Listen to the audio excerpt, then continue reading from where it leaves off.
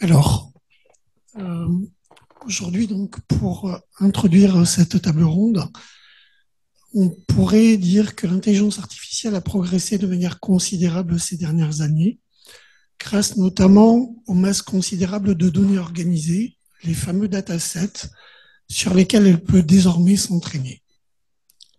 Malheureusement, cette révolution en cours demeure encore assez difficile à appréhender.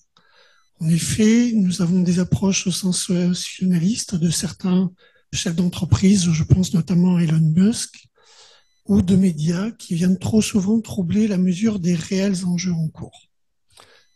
S'il est acquis qu'aucune conscience artificielle ne risque d'apparaître au cours des prochaines décennies, de nombreux métiers risquent d'être ébranlés par les progrès récents. Dans les métiers du livre, les systèmes d'intelligence artificielle sont encore d'un usage marginal. Mais il ne fait pas de doute que la situation risque d'évoluer rapidement et leur perception varie fortement selon le métier que l'on exerce. Les bibliothèques, qui doivent indexer et cataloguer de gigantesques masses de données ou cherchent à déchiffrer de manière automatisée les écritures manuscrites, font partie des professionnels pour lesquels les promesses de l'IA paraissent les plus pertinentes. Les éditeurs, eux, s'interrogent sur la manière dont les systèmes d'intelligence artificielle leur permettraient d'être plus efficients, tout en réclamant, au niveau européen et français, une véritable transparence sur la manière dont les jeux de données sont constitués, afin que là aussi, le droit d'auteur soit respecté. Le non-respect du droit d'auteur est une crainte pour les éditeurs, elle est également pour les auteurs dont les œuvres servent déjà à entraîner les systèmes qui viennent les concurrencer. Tout comme pour les éditeurs, la question de la transparence est centrale pour les auteurs. Pour aborder donc ces questions, je suis très heureux d'accueillir trois intervenants. De, donc, d'une part, donc Frédéric Maupomé, qui est auteur et scénariste, président d'honneur de la Ligue des auteurs professionnels en présentiel, et d'autre part, à distance, Luc Bélier, qui est directeur adjoint de la direction des bibliothèques, de l'information et de la science ouverte de l'Université Paris-Saclay. Virginie Clessin, euh, qui est directrice du patrimoine et de la numérisation chez Litis, est présente également pour répondre à ces questions, donc en tant que présidente notamment de la commission numérique du syndicat national de l'édition. Pour introduire euh, donc cette table ronde, j'aimerais donner la parole sans doute à Luc Bélier, pour qu'il nous explique en quoi les systèmes d'intelligence artificielle peuvent apporter certaines choses et certaines, euh, certains, on va dire, euh, pour traiter les données et les grandes quantités de données que vous avez au niveau des bibliothèques. Merci beaucoup. Bonjour à tous. Vous m'entendez bien? Oui. Ok. Alors, il y a euh, principalement deux, deux champs d'application aujourd'hui euh, qui qui sont assez importants pour les pour les métiers du patrimoine. les bibliothèques en, en étant un, une des incarnations représentées aujourd'hui. C'est pour, pour ce qui est du patrimoine non numérique, qu'a qu évoqué Jean-Gabriel Ganachia tout à l'heure, euh, la, la, reconnaissance d'écriture manuscrite. Aujourd'hui, on a des technologies extrêmement matures qui ont une quarantaine d'années, euh, qui permettent, à partir de photographies de livres, euh, de reconnaître le contenu textuel dès lors qu'il est imprimé. Euh, et, euh, et, les bibliothèques numériques euh, telles que aussi bien les acteurs industriels du numérique comme Google, mais comme les bibliothèques patrimoniales, on, a évoqué, enfin Jean-Gabriel Ganassia a évoqué la BNF, mais avec ses 14 millions de livres, mais il y a également, je crois, 8 ou 9 millions de livres sur Gallica, qui est sa bibliothèque numérique, et la plupart de, des, livres imprimés qui s'y trouvent sont de avant océrisé grâce à ces technologies qui sont, euh, avant qu'on emploie ce terme de façon euh, générique, euh, produits par, par des systèmes d'intelligence artificielle, les logiciels OCR, et qui sont aujourd'hui d'une grande maturité. Mais reste, reste une partie des contenus inaccessibles à ces technologies qui sont en grande partie les documents manuscrits qui ne sont pas reconnus par ces technologies, mais euh, depuis une dizaine d'années, vous avez des, euh, des, outils euh, avec des technologies d'apprentissage profond qui ont été évoquées également tout à l'heure, qu'on appelle HTR ou reconnaissance d'écriture manuscrite qui permettent de, euh, rendre euh, disponibles des corpus de plus en plus importants euh, de texte. Euh, et en, fait, la dernière frontière du texte intégral est en train d'être franchie pour, pour, les, pour les documents manuscrits. Donc, ça a des implications dans la mise à disposition de, documents qui seront dans les bibliothèques, mais aussi dans les archives départementales ou nationales le premier euh, programme d'ampleur en France qui s'est euh, déroulé euh, sur sur ce programme-là, sur ces technologies-là, qui s'appelle Imanis, qui est toujours disponible, H-I-M-A-N-I-S, rend disponible en fait le, trésor des chartes de, qui se trouve aux archives nationales et permet de faire de la recherche plein texte à l'intérieur de ces corpus. Euh, le, deuxième, euh, deuxième euh, axe, c'est le la fouille de texte. donc ça concerne davantage les, les corpus textuels numériques natifs qui sont plus ou moins euh, structurés et euh, qui permettent de, de, de, faire de la modélisation, de la recherche profonde, de la, euh, ce qu'on appelle aussi de, de la distance learning, de la lecture euh, à distance, et qui qui sont utilisés par différentes disciplines. il y a eu quelques illustrations par, par les propos de Jean-Gabriel Ganachia tout à l'heure.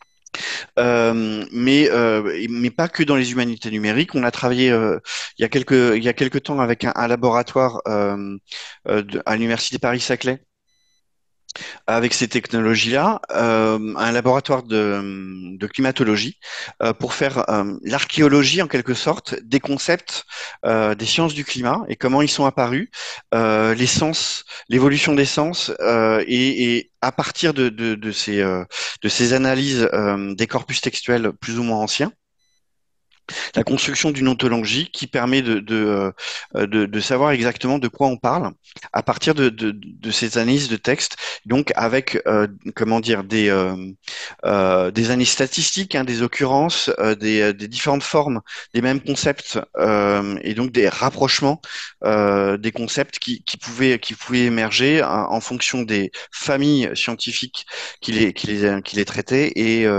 et et du temps et des périodes où, ces concepts ont été manipulés. Donc voilà, je, dirais que c'est les deux principales, euh, deux, principaux usages aujourd'hui, euh, mais euh, il y a évidemment énormément de choses qui peuvent se passer, qui sont encore à, des stades expérimentaux. il y a la Bibliothèque nationale de Belgique qui, qui travaille actuellement sur le catalogage automatique de ces ouvrages anciens par euh, la reconnaissance des, euh, des, pages de titre en fonction de la localisation des informations dans la page de titre et qui permet de, de, de faire correspondre les informations texte, auteur, éditeur, année d'édition dans les différentes zones euh, des notices euh, marques de, de son catalogue mais c'est encore des choses euh, qui sont euh, qui sont émergentes, mais on, sait que euh, beaucoup de, de, de tâches vont, vont, se transformer, mais ni plus ni moins qu'elles n'ont été transformées ces dernières années par la numérisation et des contenus produits par les éditeurs et des de nos collections permises par par la numérisation et les bibliothèques numériques. J'aurais une première question. Euh, on sait que les algorithmes d'intelligence artificielle sont assez rares. Hein. Généralement, euh, enfin en tout cas les grands modèles de langue les plus connus sont, sont conçus par des sociétés privées. Comment faites-vous pour euh, y accéder puisque j'imagine que ce sont des ressources qui n'existent pas en interne? Donc est-ce que vous avez accès à des partenariats avec le monde de la recherche français? Alors c'est un enjeu fondamental. Ah, C'était bien à moi que la question s'adressait. Oui. Oui, tout à fait. Ok. Euh, c'est un enjeu assez fondamental à différents titres. Euh, D'une part parce que euh, euh effectivement il y a, y, a, y a, des enjeux de, de maîtrise des processus. Euh, on peut aussi parler, euh, sortir des gros mots euh, de, souveraineté. Les grands modèles de langue, donc d'apprentissage, ont été en premier opérés par les grands acteurs, par les GAFAM, parmi lesquels on peut retenir Google, qui, pour construire ces grands modèles de langue, n'a pas hésité à numériser les livres des bibliothèques. Je rappellerai pas l'histoire et la réaction qu'a eu euh, la France là-dessus, et euh, de dire qu'il fallait que cette numérisation se fasse par, par les acteurs publics euh, pour, pour des enjeux culturels et de, de souveraineté sur, sur ces corpus. Alors, ensuite, il existe euh, des modèles de langue euh, produits par la recherche française. Il y en a un qui a été rendu public la semaine dernière à l'école centrale supérieure, qui fait, qui est un des établissements de l'université Paris-Saclay, hein, qui a été entraîné, euh, un LLM qui a été entraîné en France et par par des acteurs publics.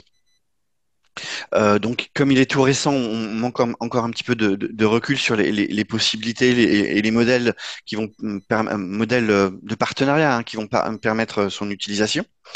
Euh, et, un des enjeux, comment dire, sur ces modèles de langue, c'est aussi le, côté boîte noire. les, réseaux neuronaux qui ont été évoqués tout à l'heure par, par Jean-Gabriel Ganassia, on ne sait pas dire comment on aboutit à tel ou tel résultat. Donc le caractère un petit peu euh, parfois hallucinatoire des résultats de, euh, des, des, IA génératives euh, n'a pas d'explication. Et donc il est relativement complexe de, de, de comprendre la, façon dont, dont, on aboutit à des résultats valides ou à des résultats invalides et donc de, de les améliorer. La, une des façons d'aboutir à, à, des résultats plus, comment dire, plus efficient, mais aussi plus compréhensible par, par les communautés d'usage, euh, qu'elles soient culturelles, publiques ou privées c'est euh, l'accès à ces modèles de langue et, euh, et donc au corpus qu'ils ont constitué. Quand le modèle de langue, il est constitué de corpus et ces corpus sont rarement euh, communiqués. vous avez une société française qui, a quelques années d'existence maintenant qui s'appelle Hugging Face, qui a un espace de partage pour les, pour les IA. Et l'essentiel de ce qui est partagé aujourd'hui, ce sont les modèles d'apprentissage, c'est-à-dire le résultat de l'apprentissage euh, à partir de, modèles de langue. Mais les modèles, euh, les corpus qui ont permis euh, la construction de ces modèles, eux, ne sont, sont très rarement partagés.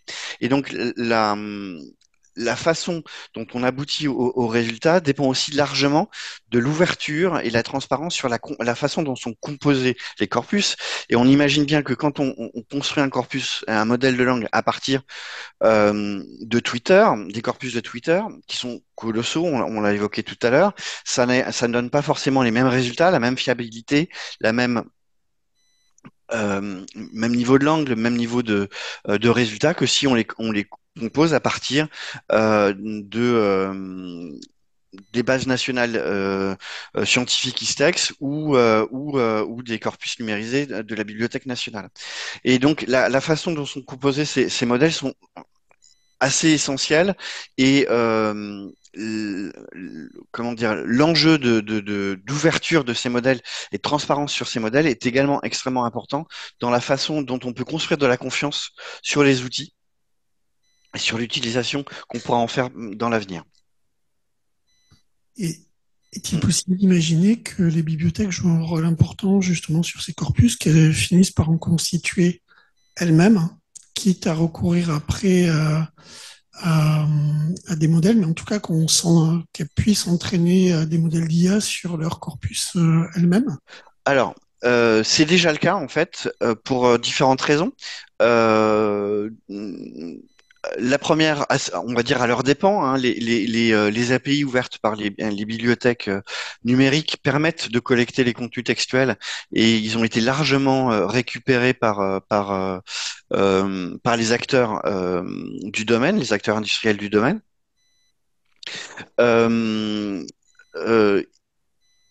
Dans, un autre ordre d'idée, euh, la fermeture de, des API de Twitter euh, s'explique aussi par le fait de, de ne pas alimenter euh, la concurrence par des, des, corpus textuels relativement importants. On peut envisager que, que, que les acteurs publics auront le même type de démarche à l'avenir et, et, ne permettront pas un accès libre et, et, et permanent à, au contenu textuel en, en masse par, par les acteurs industriels. Euh, il y a déjà eu des partenariats dans le passé pour la recherche euh, entre entre les acteurs, notamment pour l'amélioration des OCR, donc aussi technologie euh, au début des années 2010 avec des financements européens. Donc recherche publique et recherche privée ont travaillé ensemble à partir des corpus numériques et numérisés de, de des établissements patrimoniaux pour améliorer les résultats des OCR. Et vous avez énormément de partenariats dans un autre domaine que, que, les bibliothèques, mais avec les musées, par exemple, hein, pour entraîner des IA à partir des corpus euh, numérisés des, euh, des musées.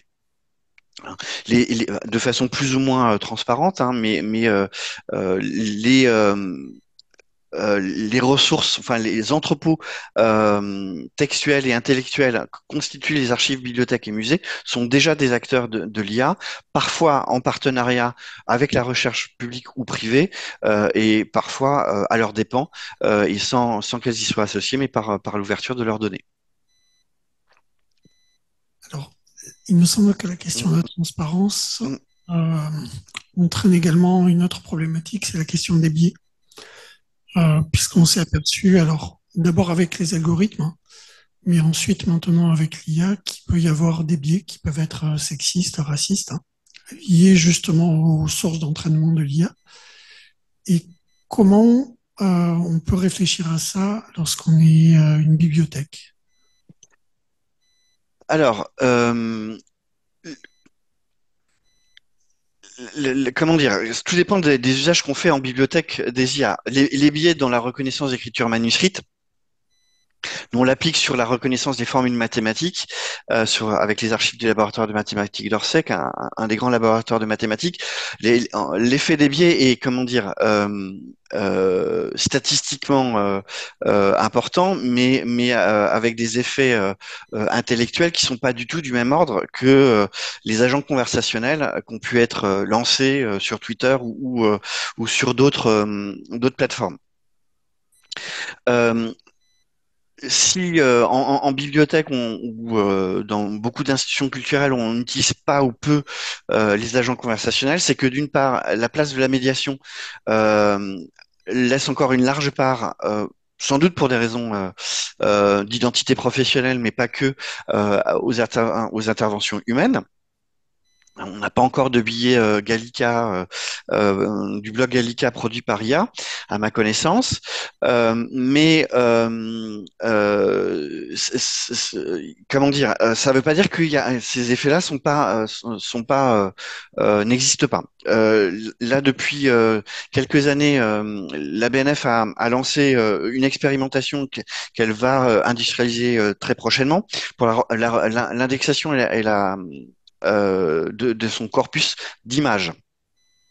Donc, à partir de, modèles préexistants, il s'agit d'indexer automatiquement euh, les images qui sont présentes dans, dans, euh, les différents documents de, de, Gallica, donc que ça soit la presse ou les illustrations dans, dans les livres imprimés.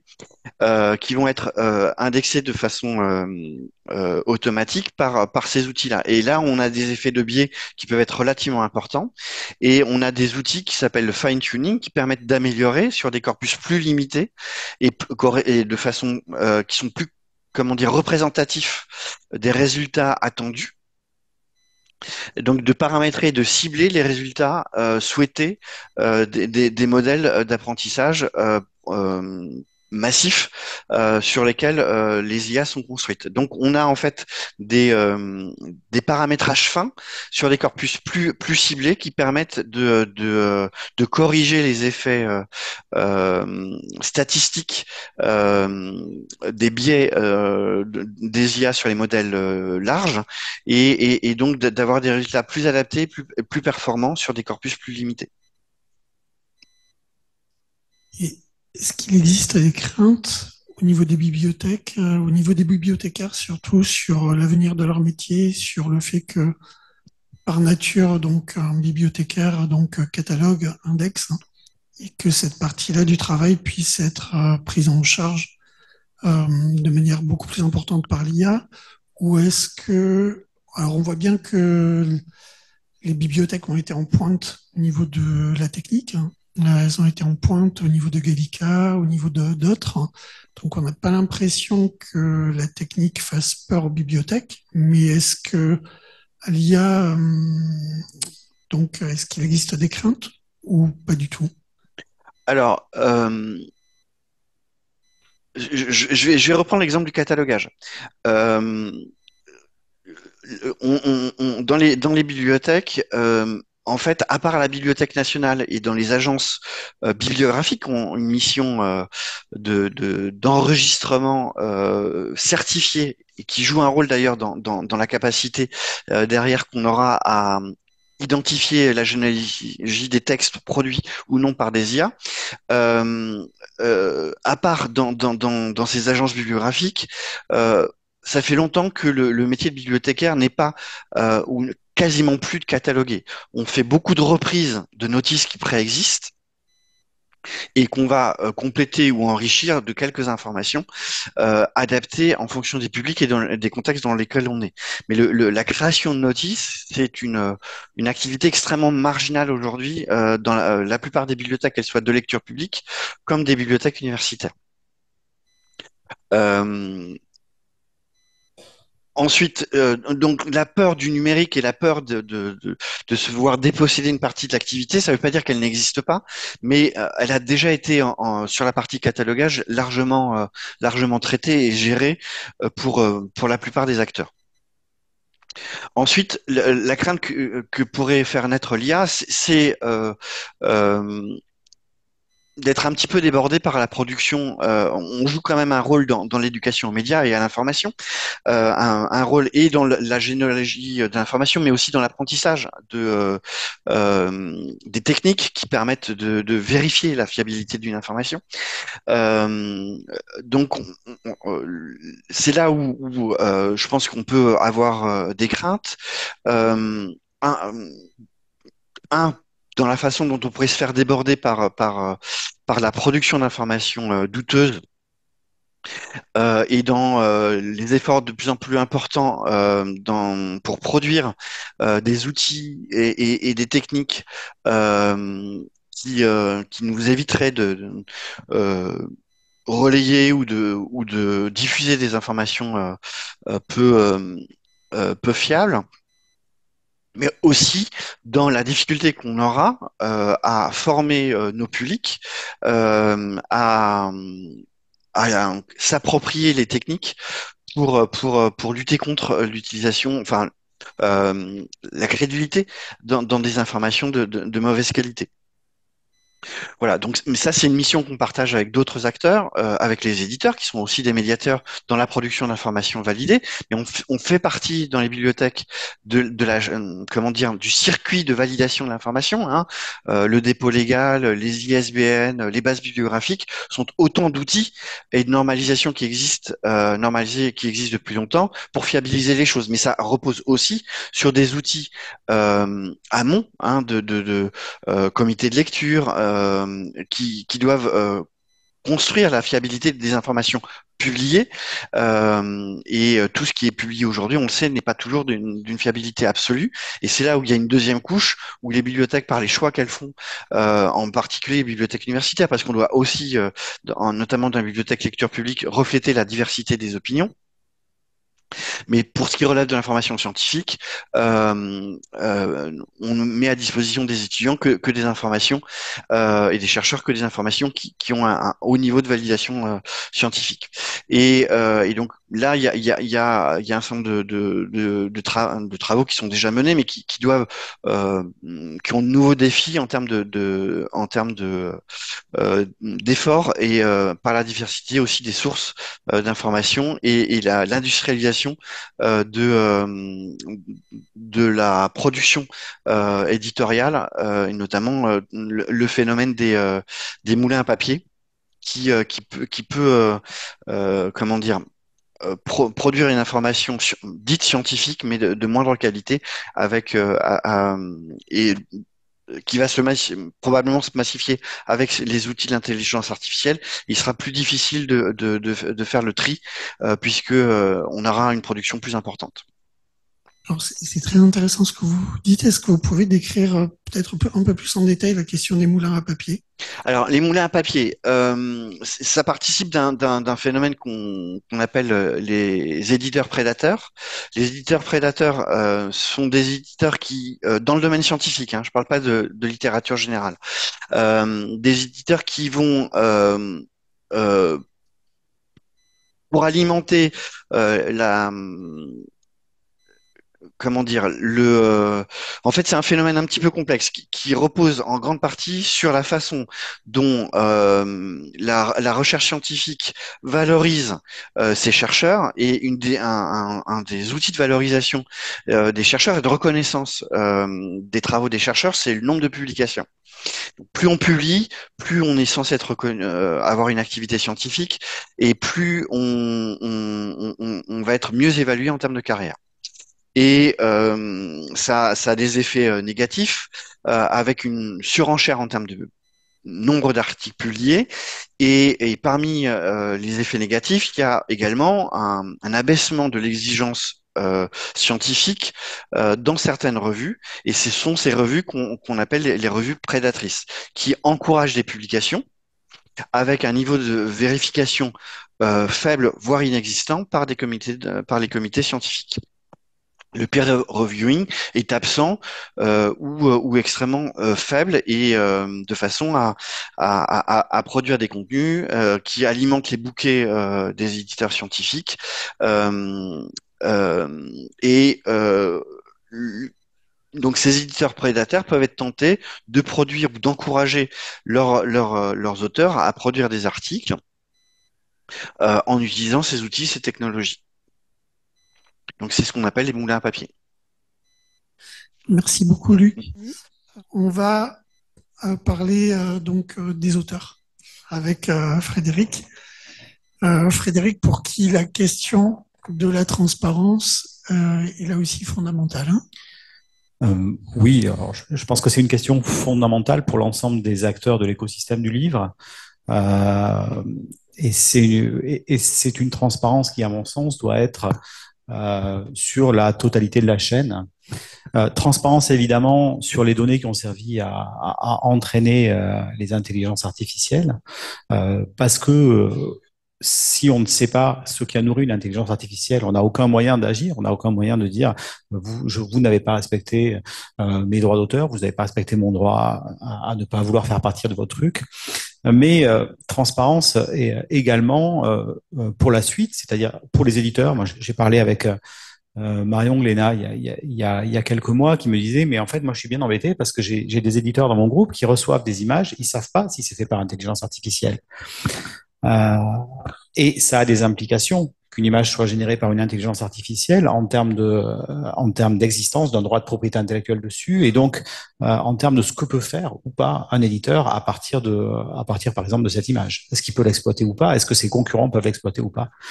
Et puis euh, transparence euh, jusqu'au bout, jusqu'au consommateur, et notamment jusqu'au libraire. Aujourd'hui, les libraires ne peuvent pas savoir, sauf si un éditeur le leur dit gentiment, que une image de couverture ou que le contenu d'un livre a été généré par une intelligence artificielle. Et donc, ils sont pas en mesure de d'exercer leur, leur mission euh, vis-à-vis de, de leurs clients en fait. Euh, je conçois difficilement, mais je conçois, euh, que certains qu'à certains libraires, ça ne pose pas de problème de vendre tel ou tel livre qui a été fait par IA ou pas par IA. Mais euh, il faut qu'ils puissent être en mesure de dire à leurs clients, euh, voilà, ce livre il est super, la couverture a été faite par IA, mais je trouve que machin. Voilà. Euh, et aujourd'hui, c'est absolument c'est absolument impossible. Donc euh, cette question de transparence, elle part du début jusqu'à la fin. Et si on n'a pas ça, euh, dans ce cas-là, on peut pas faire grand-chose en fait euh, vis-à-vis de cette technologie. C'est en fait une question de confiance entre tous les différents acteurs de la chaîne du livre hein, et une question de transmission des informations et de transparence, effectivement. Bah, oui, alors moi par exemple en tant que en tant que parent, jamais de la vie, j'achète un livre d'intelligence, euh, un livre pour mes enfants. Euh, bon maintenant ils sont grands donc ils s'achètent leur livre tout seuls, mais j'achèterai pas un livre euh, à lire à mon enfant le soir qui a été écrit ou dessiné par une intelligence artificielle. Je le ferai pas. je peux concevoir qu'il y ait des gens qui s'en foutent. Mais à minima, il faut que le consommateur soit éclairé. Euh, c'est une des questions fondamentales euh, qui, qui, euh, qui fondent l'action, par exemple, de la, la, FTC américaine, qui est l'organisation fédérale qui gère la concurrence et le commerce aux États-Unis, et qui, qui, dit exactement ça. Il y a une notion de tromperie sur la marchandise quand on ne sait pas si le produit final, d'où il vient en fait, tout simplement. Donc il y a des manières diverses de, de, de, de, pouvoir réfléchir à ça. Il y a, euh, il y a l'existence de labels qui commencent à exister, par exemple, genre dessinés à la main, des choses comme ça. Mais euh, de toute façon, tout ça ne peut pas fonctionner dans un dans une euh, un système dans lequel il y a l'opacité totale du début à la fin. J'ai en tête l'exemple d'un d'un scénariste qui a, qui a, écrit un roman. Euh, il a commandé une illustration à à un dessinateur et le dessinateur lui a fourni une image générée par intelligence artificielle, sans le lui dire évidemment. Là, on est évidemment, c'est pas ça qu'il veut. Il, veut pas un dessin fait par une IA. Il aurait pu le faire lui-même hein, si c'était ça. Le, euh, il se retrouve lui-même bien embêté euh, avec euh, avec avec son roman, avec une image générée par IA est arrivé la même chose à certains éditeurs, je pense à, à Gélu en particulier, euh, dans le groupe Hachette, puisque j'avais pu en parler avec, euh, Arnaud Robert, qui est, le, secrétaire général du groupe Hachette, euh, où l'éditeur a été acheté des images, les a mis en couverture de ses livres et ne s'est pas rendu compte, pour le coup, j'ai moi qui ai téléphoné, que, que l'image avait été générée par IA, alors même qu'ils avaient pris position pour dire nous n'en voulons pas. Parce que les, les vendeurs d'images sur Internet, euh, alors chez certains, on peut cliquer sur je ne veux pas d'image euh, fait par l'intelligence artificielle. Alors, c est, c est, oui, parce que ça suppose que le vendeur de départ ait dit j'ai fait mon image avec une IA. Oui, j'essaye de parler, vous m'entendez? Rarement le cas finalement. Et là encore, on a un problème de tromperie vis-à-vis -vis de l'éditeur qui se retrouve ensuite à essuyer les plâtres. Est-ce que, que, mon micro marche maintenant? euh, voilà, Et puis le livre être impacté avec mon portable. Est-ce qu'il y a des cas de la même manière que lorsqu'on rédige, on peut se faire euh, aider par l'IA euh, Est-ce qu'il existe le cas d'illustrateurs qui se font aider par l'IA et auquel cas ça puisse être euh, une création mixte, humain et IA Et dans ce cas-là, où mettre le curseur pour décréter que cette image-là a été créée par l'IA alors oui, ça existe, que ce soit en termes de rédaction ou en termes d'image ou de vidéo ou de musique. Euh, D'une manière générale, je pense que les pires ennemis des auteurs, c'est les auteurs. Hein. Euh, et les pires ennemis des éditeurs, c'est les éditeurs sur ces questions-là. Euh, alors, je, je, vais revenir exactement sur vous dites, mais pour illustrer mon propos, c'est chacun ne voit euh, le problème que sur son propre spectre à lui, d'une manière générale. C'est-à-dire qu'on a plein d'artistes, musiciens, euh, de compositeurs qui sont très très contre le fait que leur musique soit utilisée par l'IA, mais par contre, ils vont utiliser une image générée par intelligence artificielle pour la mettre sur la couverture de leur album. Euh, on a des éditeurs, j'ai fait un débat à Brive avec, avec un éditeur dont c'était le cas, qui était vraiment convaincu que euh, l'IA ne doit pas aller fouiller ses textes, mais par contre, qui avait édité un livre euh, sur le rouge à lèvres, euh, dont une partie des images étaient générées par intelligence artificielle. On a une partie des dessinateurs qui vont se dire, ah, mais je vais pouvoir générer mon texte par IA.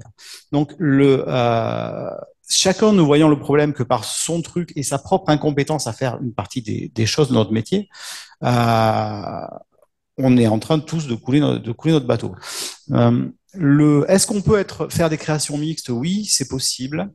Euh, mais se pose alors la question euh, du régime en fait euh, de, l'œuvre terminale. Euh, est-ce que c'est une œuvre? Est-ce que c'est pas une œuvre? C'est pas clair pour l'instant. Mon opinion. Alors, il y, a des tas de questions à la fois sur qu'est-ce qui est protégeable au titre de la propriété intellectuelle? Par exemple, il est très clair qu'une image généré par une intelligence artificielle et que quelqu'un redessine n'est pas protégé au titre de l'IA. Euh, de la même manière, si vous redessinez une, enfin, au, titre de la propriété intellectuelle, le, par exemple, vous n'avez pas le droit de prendre une photo et de la redessiner telle quelle. Non, vous êtes en train de faire de la contrefaçon.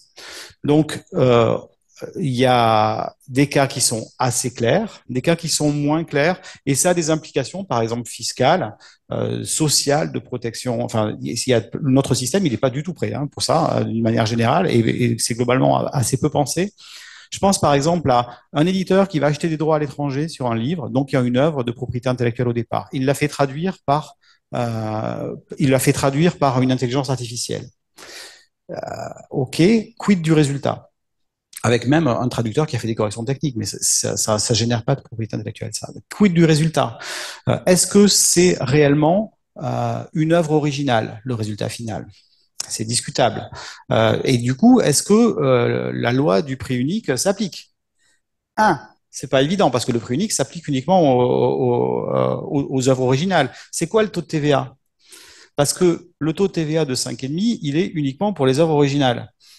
Or, une, création, une traduction par intelligence artificielle, ça c'est 20% de TVA. Ouais, mais là j'ai les deux. Euh, donc il y a, y, a, y a, des vraies questions. Alors moi j'ai une opinion sur la question. Euh, il y a une doctrine fiscale par exemple qui dit que si je vends une bouteille de vodka avec un livre euh, de cocktail, le taux de TVA c'est 20%, hein, parce que c'est la bouteille de, la bouteille de parce que la bouteille de vodka n'est pas accessoire. Hein, c'est les gens ils achètent la bouteille et puis un petit livre de cocktail. Euh, je pense qu'une traduction pour un éditeur si elle est générée par une IA, elle est clairement pas accessoire au produit final. Donc moi, je collerais 20% de TVA à tout le monde, et puis ça remettrait ça remettrait aussi un peu de compétitivité aux traducteurs. Là, ces 15 points de TVA, euh, ça, ça, ça, leur remet un peu de compétitivité. Bon, on, on voit bien que c'est extrêmement compliqué, euh, mais et d'une manière générale, oui, il y a des artistes qui, qui ont envie d'utiliser l'intelligence artificielle euh, pour plusieurs raisons. Et une des raisons, c'est la pression financière euh, sur les sur les, nos professions. On est des professions extrêmement précarisées d'une manière générale. Euh, tout le monde peut se dire, ouais, mais là, je peux vraiment augmenter ma euh, augmenter le nombre d'images que je peux sortir, et donc je vais arriver à m'en sortir mieux. Là aussi, je pense que c'est une vue un peu court-termiste parce que euh, fondamentalement, tout le monde peut le faire. Donc, il y a un moment où il y a beaucoup d'acteurs qui vont le faire. Donc, le prix d'une illustration de couverture, ce sera pas 500 balles, mais ça va être 300, 200, 100 balles. Et puis à la fin, personne ne s'en sort. Euh, voilà. Justement, concernant euh, l'utilisation des images, vous avez évoqué à différents endroits la possibilité de les empoisonner pour éviter l'entraînement. Euh, des images sur, euh, enfin l'entraînement des IA sur des images qui sont protégées par le droit d'auteur. C'est une pratique émergente, mais qui est pour le coup assez intéressante, avec des papiers scientifiques récents qui permettent de d'aller plus loin et sur lesquels vous êtes euh, à la pointe personnellement euh, Oui, j'ai fait un tutoriel qui devait être sorti là aujourd'hui, mais qui, sortira cette semaine, je pense. Il y a eu un petit retard au niveau de la DAGP qui, qui doit le sortir. Euh, en gros, l'idée, l'idée, c'est l'idée, c'est quoi? C'est euh, aujourd'hui, on a en tant qu'artiste producteur d'images, c'est pire pour les producteurs de texte. Hein. Les producteurs de texte, ils ont juste aucune possibilité de se protéger. Mais pour les producteurs d'images, euh, ils, ils, sont pris entre deux feux soit ils arrêtent de mettre leurs images sur Internet, et dans ce cas-là, ça pose un problème. Ils perdent contact avec leur communauté évidemment éventuelle, ils ne peuvent plus faire la communication autour de leurs livres, leur promotion, etc. Bon, euh, soit ils continuent à publier leurs images, et dans ce cas-là, euh, ben, ils sont, ils sont immédiatement récupérés par les, les, crawlers sur Internet et leurs images vont nourrir les, les bases de données des IA. Donc ça, c'est un problème, euh, un problème majeur pour, pour, pour les auteurs. Pour les auteurs qui travaillent dans le domaine du livre en particulier, c'est encore plus un problème parce que moi, je peux bien essayer de protéger mes images, mais en fait, dans le fond, euh, l'essentiel de mes images qui vont sortir sur Internet, elles viennent pas que de mon site Internet, elles vont venir de mon éditeur, de l'ensemble des libraires, etc., etc. Donc, que faire? Ben, Il y a un professeur américain qui s'appelle Ben Zhao et son équipe qui ont travaillé sur euh, deux logiciels, un qui s'appelle Glaze, un qui s'appelle Nightshade. Euh, Glaze a pour objectif de protéger le style du, dessinateur ou de la dessinatrice. Ça applique un filtre qui est perceptible à l'œil mais pas tant et suffisant pour des images pour Internet dans le cadre hein, qui est le mien, à savoir production de livres. Que l'image elle soit pas parfaitement nickel sur Internet, c'est pas tellement grave pour moi. Euh, voilà. Et un deuxième qui s'appelle Nightshade et qui lui a pour objectif d'empoisonner les bases de données, c'est de, de l'intelligence artificielle. Là aussi, ça applique un filtre qui est très très peu visible à l'œil nu. Euh, et une IA qui n'analyse pas l'image comme nous on l'aperçoit avec notre œil se retrouve à, euh, elle va penser que euh, au lieu d'avoir une voiture, en fait, c'est un sac à main. Et si tout le monde a empoisonné suffisamment d'images, ben, au bout d'un moment, quand on lui demande de dessiner une voiture, elle dessine des sacs à main, elle sait plus quoi faire. Voilà. Et là, c'est une pratique émergente, largement déjà utilisée aux États-Unis par les artistes indépendants. Euh, le, enfin, le jour où, Nightshade est sorti, euh, c'était, je crois que j'ai mis 8 heures à télécharger un truc qui fait euh, genre 20 mégas parce que tout le monde est en train de le récupérer. Mais c'est quelque chose, moi j'en ai parlé à mes, éditeurs, parce que je fais de la bande dessinée, donc j'ai évidemment beaucoup d'images dans les livres, euh, qui intéresse aussi les éditeurs. Et je pense que pour nous, l'essentiel de la protection, ça doit être justement, avec un outil comme Nightshade, doit venir des éditeurs, parce que finalement, j'ai pu le voir quand en interrogeant les bases de données qui avaient récupéré les, images de mes livres, l'essentiel des images de mes livres, elle vient d'où? Elle vient pas de mon site internet, en fait. Elle vient de euh, des, sites des libraires, des sites des blogueurs, des journalistes, etc., etc. Et eux, ils récupèrent leurs images ou ben, au service de com euh, de, de l'éditeur. Donc, si l'éditeur envoie au départ des images qui ont été Nightshade, l'ensemble des images ou l'essentiel de mes images qui sont sur Internet se retrouvent à être protégées et tout ça, euh, tout ça empoisonne les bases de données des IA. Ce que je trouve intéressant, c'est que ça promeut au moins une notion, c'est que euh, si j'ai j'ai pas envie, tu viens pas me piquer mes affaires. C'est quand, quand même aussi simple que ça.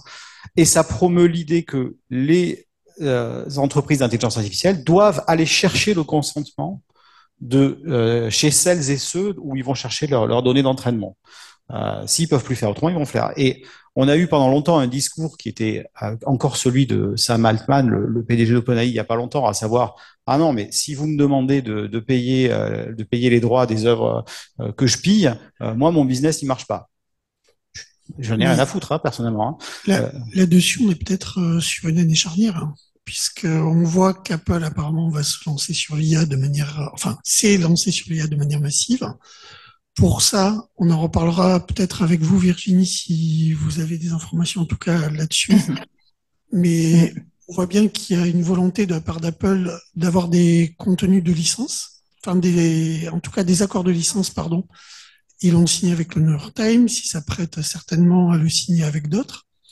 Donc on voit bien que cette, euh, cette gratuité de la ressource, peut-être qu'on va changer de paradigme. Alors, alors espérons, parce qu'il n'y a pas de raison déjà hein, pour, pour commencer. Euh, il y, a, y a un intérêt économique hein, pour les gros acteurs à aller chercher des accords de licence, et même à les payer relativement cher. C'est qu'ils empêchent l'émergence des nouveaux d'autres nouveaux acteurs. C'est euh, si euh, le coût d'entrée, euh, c'est je sais pas combien de, centaines de millions d'euros, on peut le payer quand on pèse plusieurs milliards. Euh, on peut pas le payer quand on est une start-up qui démarre. Et donc, donc ça, ça, peut avoir un intérêt pour eux. Voilà, il y a eu aussi un accord avec Build, par exemple. Euh, je crois que c'était euh, OpenAI qui a fait un, accord avec Build. Je peux me tromper. Euh, donc oui, il y a une possibilité d'aller chercher des accords de, des licence. Peut-être qu'on va aller dans, dans le bon sens à ce niveau-là, mais on a un deuxième souci. C'est que on a aussi l'émergence d'un certain nombre d'acteurs qui disent mais c'est bon, moi j'ai les données chez moi. Euh, alors, on a évidemment fait ça, euh, Facebook, Instagram, qui dit, moi, je m'en fous, je vais être le roi de l'IA, parce que tout ce que vous avez écrit depuis le début de Facebook, c'est à moi, euh, toutes vos images, c'est à moi, et allez vous faire foutre. Voilà. Donc, le, là encore, hein, c'est très discutable hein, d'un point de vue du droit, mais pour l'instant, personne n'essaie de l'empêcher. mais on a aussi, par exemple, des gros acteurs je vais prendre des groupes internationaux pour pas fâcher le, pour pas fâcher le SNE, mais euh, Disney par exemple qui dit, qui peut dire, mais moi j'ai énormément de matériel, hein, je suis Disney, hein, donc euh, j'ai, euh, ça, fait 70 ans qu'on fait des films, j'ai des tonnes d'images, je vais les utiliser pour entraîner mes propres intelligences artificielles. on a des éditeurs anglo-saxons qui ont déjà commencé à le faire sans avoir demandé à personne ni prévenu leurs auteurs. donc le, il y a une vraie question sur la, la validité. Euh, voilà, moi j'ai signé des contrats avec mes éditeurs. Je, à aucun moment, ni eux ni moi, euh, n'avaient pour euh, intention d'entraîner une IA avec. Euh, S'ils commencent à entraîner une IA avec mes livres, je vais être fâché. Euh, mais ça revient à questionner la, les contrats d'édition qu'on signe, qui ont toujours été très très larges on va dire. Euh, moi, j'ai vu passer des contrats euh, système solaire, par exemple. Hein, c'est sur, euh, le l'étendue du contrat, c'était pas juste le monde entier, c'était système solaire. Il y en a qui font univers connu. Enfin bon, on, on voit passer au cas où hein, tout et n'importe quoi. Donc le et en général, c'est pour tout procédé actuel, futur et ce qu'on n'a pas inventé. Donc ce genre ce genre de clauses là sont éminemment discutables. Elles tiennent pas forcément quand on va voir un juge, mais c'est compliqué d'aller voir un juge. Et moi, je crois qu'on aurait intérêt euh, à discuter auteur avec des éditeurs d'ailleurs sur ces questions-là, euh, euh, de dire, ben en fait, non, je ne veux pas que, enfin, moi dans mon contrat, j'essaie de le mettre à chaque fois maintenant, je ne veux pas que vous puissiez entrer uni avec mon travail. Il y a des auteurs qui disent, je ne veux pas que mon livre soit traduit par une intelligence artificielle. Vous vous débrouillez si vous cédez les droits, mais je ne veux pas. Euh, mais les éditeurs ont la même question vis-à-vis de leurs sous-cessionnaires. Euh, ils vont céder euh, le droit de publication dans un autre pays. Ils n'ont pas forcément envie que l'éditeur étranger fasse n'importe quoi, etc. Donc là aussi, il y a une question de chaîne de transmission et de d'accord qui doit être donné à un moment donné dans cette histoire. Virginie, je pense que vous avez sûrement beaucoup de choses à ce sujet-là à préciser. Oui, bah, peut-être parler parler justement de d'un événement récent et très important, euh, qui est le, le, fait que les, les, représentants des différents pays de l'Union européenne se sont mis d'accord sur le texte d'un sur un texte européen qui, est l'acte européen de l'intelligence artificielle, qui a comme doux nom euh, euh IA Act. Et donc en fait, la, la communauté européenne est, est, le premier, la première juridiction qui régule l'intelligence artificielle. Et donc là, en fait, la mobilisation n'a pas été seulement celle des éditeurs, elle a été celle de tous les acteurs culturels, parce que les, les, sociétés euh, qui développent des systèmes d'intelligence artificielle générative euh, euh, s'entraînent non seulement sur des textes, mais aussi sur, des, sur de la musique et sur des images fixes et animées. Et, donc, toutes, les industries culturelles et tous les euh, concernés se sont unis pour, euh, en fait, euh, accompagner l'écriture même de ce IA Act.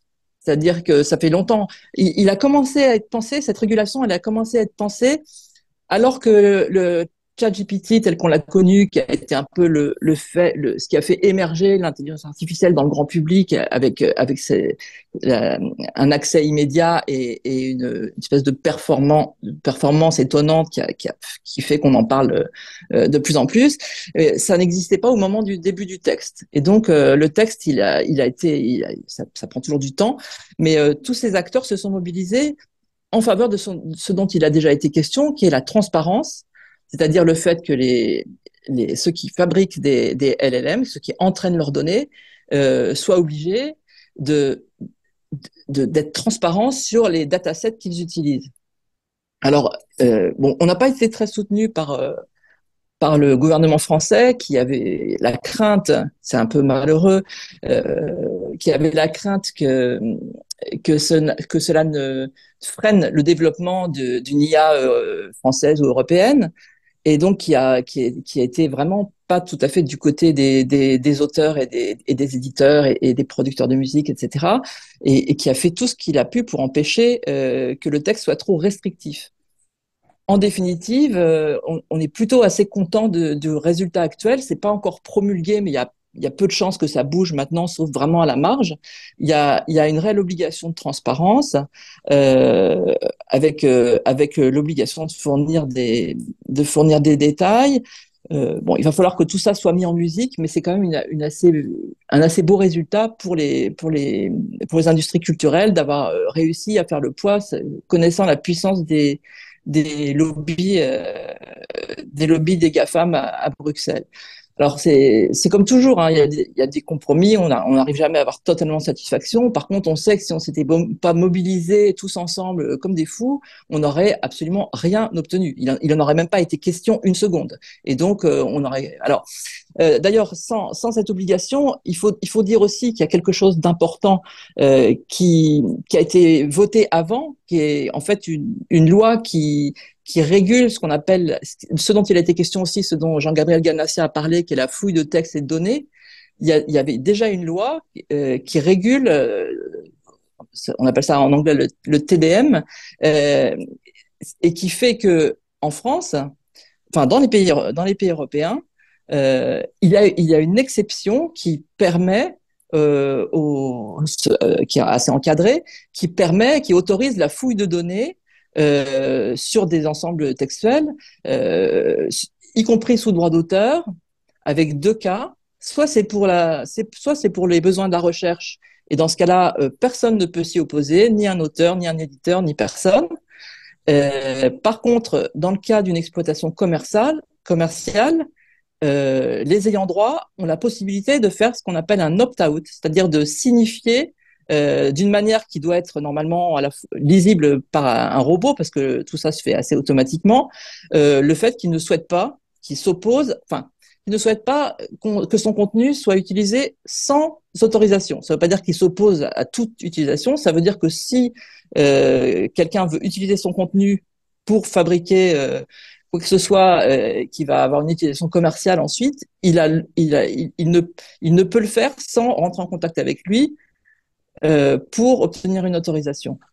Et donc ça, c'est ça, c'est l'état actuel. Tant que l'AI Act sera pas rentré en vigueur, c'est l'état, c'est le régime du droit européen sur la sur euh, l'accès euh, l'accès aux, données. Alors après, il y a des discussions pour savoir est-ce que le cas du TDM s'applique parce que ça a été voté bien avant l'existence des, des, des, intelligences artificielles génératives, pour savoir si ça s'applique au cas de l'entraînement d'un de l'entraînement de ces grands LLM.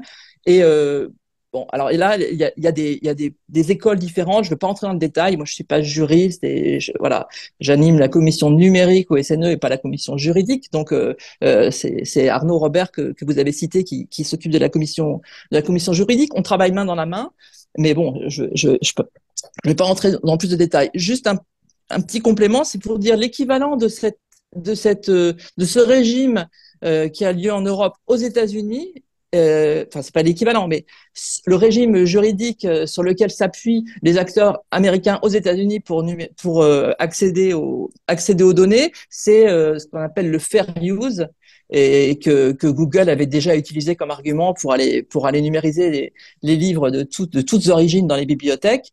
Euh, ça s'applique aux États-Unis. Il y a les mêmes débats aux États-Unis de savoir si ça rentre dans le fair use, ça rentre pas dans le fair use. Et il y a des procès en cours et, et on suit tout ça de très très près parce que évidemment que ça structure énormément énormément de choses. Euh, je, peux juste donner quelques précisions. Euh, alors sur les procès aux États-Unis, il y a une centaine euh, actuellement. Euh, donc, euh, évidemment, euh, les acteurs du numérique sont tous invoquent tout et, tout et n'importe quoi. Ils ont, par exemple, ils ont perdu récemment parce qu'ils avaient ils avaient invoqué le l'argument de la liberté de, du free speech aux États-Unis et de dire vous n'avez pas le droit de m'empêcher de produire des images et donc constitutionnellement votre votre procès marche pas. Donc ça, ça a été repoussé. Euh, la, la, directive de 2010, de, de, la directive européenne sur le text and data mining, c'est celle de 2019. Euh, il faut quand même avoir à l'esprit que les fouilles de données massives ont commencé en 2013. Voilà, sur le texte notamment. Euh, et que à l'époque il y avait juste rien et surtout que l'ensemble des acteurs des, de, de, la recherche sur les intelligences artificielles n'en avaient rien à foutre du droit d'auteur. Ça ne les intéressait pas. Ça les intéressait tellement peu que où est-ce qu'ils ont été récupérés leurs leurs leurs leur textes? Euh, bon Google avait numérisé pas mal de choses mais mais en fait ils sont allés les chercher sur Z Library ils sont allés les chercher sur des sites pirates en ligne hein. oui Donc, ça, très ça, bien ce qu'il fallait faire ça, je peux, je peux euh, tout à fait appuyer ce que, ce que vous dites. Euh, D'ailleurs, une des, des, des, actions que font les éditeurs, c'est d'aller d'aller euh, très tôt aller récupérer ces, ces ensembles de données pour les fouiller nous-mêmes afin de savoir si, si des œuvres sous droit figurent dedans et lesquelles, et aussi afin de constituer des preuves euh, en vue d'une action possible aussi du monde de l'édition. Euh, on, est parfaitement aligné sur, sur cette, sur cette question-là. Et c'est vrai que avant, la, euh, la loi sur le TDM, euh, euh, il n'y avait pas, il y avait aucune autorisation donnée. Donc en fait, si on attaque, il faut, il faut, on peut tout à fait arriver à prouver qu'il y a eu de l'entraînement fait avant, avant que cette, cette autorisation sous condition et, et avant que, voilà, sans qu'il y ait eu besoin d'histoire d'opt-out, etc. Avant la loi, quoi. Le, voilà. Et, et, cette directive 2019, donc effectivement, elle met en place un système. Euh, d'abord, elle n'est pas du tout pensée sur, sur les intelligences artificielles génératives, hein, comme vous l'avez dit. Euh, les négociateurs à l'époque n'y pensent pas, personne n'y pense. Euh, c'est c'est pas le sujet. Ce qui les intéresse à ce moment-là, c'est plutôt justement les questions euh, d'OCR, par exemple, enfin des choses comme ça. Mais le fait qu'une IA soit euh, génératrice de données euh, arrive pour produire des textes et des images, c'est pas c'est pas dans le dans le spectre du raisonnement. Euh, mmh. Et la partie, on va dire, euh, recherche a été euh, âprement négociée. Euh, la partie utilisation, possiblement pour gagner de l'argent, c'est l'article 4, a été très très peu négociée. Objectivement, on m'a dit, grosso modo, c'était vendredi soir, il était tard, il fallait signer. C'était, c'est quand même ça. Donc le et la question sur quoi sur quoi on se base pour dire ce texte ne s'applique pas forcément aux IA génératives. Ça se, on se base tout simplement sur la notion, enfin sur les notions qui remontent à, à la convention de Berne et qui disent on peut faire des exceptions au droit d'auteur. Voilà, euh, il y en a plein d'exceptions au droit d'auteur en droit français, mais à certaines conditions, et notamment à condition que l'exception soit limitée et à, à, condition que l'exception ne vienne pas, euh, on va dire, impacter euh, le, détenteur de droit de manière trop importante. Or, il est difficile là de ne pas dire qu'il n'y a pas un impact fort sur, le détenteur, sur les détenteurs des droits, puisque euh, ben, les œuvres sont pillées et viennent venir directement en concurrence financière sur euh, les, typiquement les, les plateformes de vente d'images avec ceux qui ont par exemple créé des images. Donc c'est assez immédiat. Mais c'est vrai que c'est des discussions de juristes euh, qui mmh. sont compliquées et euh, je suis euh, d'accord avec ce qui a été dit en conclusion au Congrès mondial de propriété intellectuelle, à savoir que le seul spectre du droit d'auteur n'est pas forcément suffisant pour protéger euh, les, auteurs, les éditeurs, etc. Contre ces acteurs-là, il faut penser d'autres choses, notamment la, la, question de la concurrence déloyale, etc., etc. Et euh, il faut élargir notre champ de réflexion. Virginie, est-ce que vous avez oui, alors ce que, bah, ce que, je, ce que je, voudrais peut-être enchaîner un petit peu, euh, à moins que ce soit pas le moment, vous, vous me le dites, mais pour dire que, comme je l'ai dit, euh, d'abord je voudrais citer une, une, euh, une expression qu'a qu utilisée justement Arnaud Robert lors, de, lors de rencontres sur l'IA auxquelles on a participé ensemble il y a peu de temps, qui était, et qui était assez, qui disait assez bien l'état d'esprit des, des GAFAM à propos de, à propos de leur capacité justement à à identifier les œuvres sur lesquelles ils se sont entraînés eux-mêmes. Il, dit en gros, euh, quand les GAFAM vous expliquent euh, à, quel point leurs produits sont performants, euh, on est dans une ambiance euh, la garde des étoiles. Mais quand il s'agit euh, d'aller identifier des œuvres des, des, ayants droit dans leur dataset, là c'est la guerre du feu. Et je trouvais ça assez juste parce que il y a quand même un double discours de je peux euh, quand ça quand c'est dans mon intérêt et je ne peux pas quand ça ne l'est pas. Donc euh, là-dessus, on est, faut pas être naïf. C'est-à-dire que euh, voilà, si, si on si on n'est pas si on n'a pas très clairement dans l'idée euh, que qu'on a en face de nous des gens qui poursuivent leurs propres intérêts euh, avec une avec une force absolument énorme, on, on sera pas on sera pas tellement outillé pour se battre. Cela dit, le propos de la, moi je préside la commission numérique au, SNE et notre euh, et, euh, on, est évidemment totalement solidaire des positions euh, prises par le SNE sur ces, sur ces aspects et on se tient informé, on suit ça de près. Mais l'objectif de notre commission, il n'est pas le, il n'est pas le même. Et cette commission, d'ailleurs, a, été créée au moment de l'apparition du livre numérique, dans, dans, la première décennie des années 2000 et aussi euh, de manière concomitante avec le moment, ce moment où Google a commencé à, à numériser massivement dans les bibliothèques américaines. Et, euh, et en fait, déjà à l'époque, on, on avait, on avait, on était tout à fait conscient que ce que faisait Google, c'était pas, enfin, que si les éditeurs, les auteurs devaient être, être euh, remontés contre les, enfin, être euh, extrêmement vigilants sur les comportements de, Google, c'était pas, c'était pas tellement l'idée que Google allait euh, se mettre à se mettre à numériser des livres et puis euh, devenir euh, une bibliothèque ou un libraire. Ça, c'était, ou, ou donner accès à des livres, etc. Ça, c'était évidemment quelque chose qu'il fallait combattre mais on avait tout à fait confiance qu'il était en train de se fabriquer un énorme, on appelait ça à l'époque un énorme bac à sable, et qu'en fait il avait besoin de toutes ces données euh, bien éditorialisées, euh, de qualité, et traduites en plus en plusieurs langues pour entraîner tous ces systèmes de, euh, de reconnaissance de la langue, etc., et qui, qui, qui, ont, qui ont contribué à, à, à permettre le développement de l'intelligence artificielle. Donc ça, on le, on le savait déjà. Et en fait, euh, bon, notre rôle à la commission numérique, c'est toujours d'approcher plutôt les problèmes d'un point de vue technique. Et en fait, on n'est pas des ingénieurs, mais on est tous, euh, on, on, a tous un intérêt et, et, un, et, un, minimum de connaissances qui font qu'on essaye de faire une veille permanente sur les questions numériques afin de pouvoir se former, former, informer les éditeurs et surtout informer les décisions. Parce que c'est même le même le même le livre numérique, euh, il y a eu beaucoup de décisions à prendre au moment où, au moment où, où c'est apparu, où on a euh, et en fait cette, cette, veille, elle, elle, a permis aussi de fabriquer un écosystème pour euh, l'épanouissement, euh, le développement du livre numérique euh, qui correspondent vraiment aux, attentes, euh, aux attentes de toute la chaîne du livre. Par exemple, en, faisant voter une loi sur le prix unique du livre numérique, euh, en se battant comme des fous sur l'interopérabilité. Euh, voilà, disons que c'est, il y a, toute une base technique, de connaissances techniques qui sont indispensables pour arriver à, à connaître euh, et, et, à prendre des décisions, euh, à des, des, décisions éclairées. Et en, fait, on, on, effectue cette veille et j'ai et je suis allé, je suis allé voir aujourd'hui, j'ai un outil de veille et je suis allé voir euh, hier euh, de quand date la première, euh, le premier tag IA sur euh, IA euh, sur, sur dans ces outils de veille et c'était assez rigolo parce que je suis tombée sur sur un article qui est qui est juste la naissance de d'OpenAI.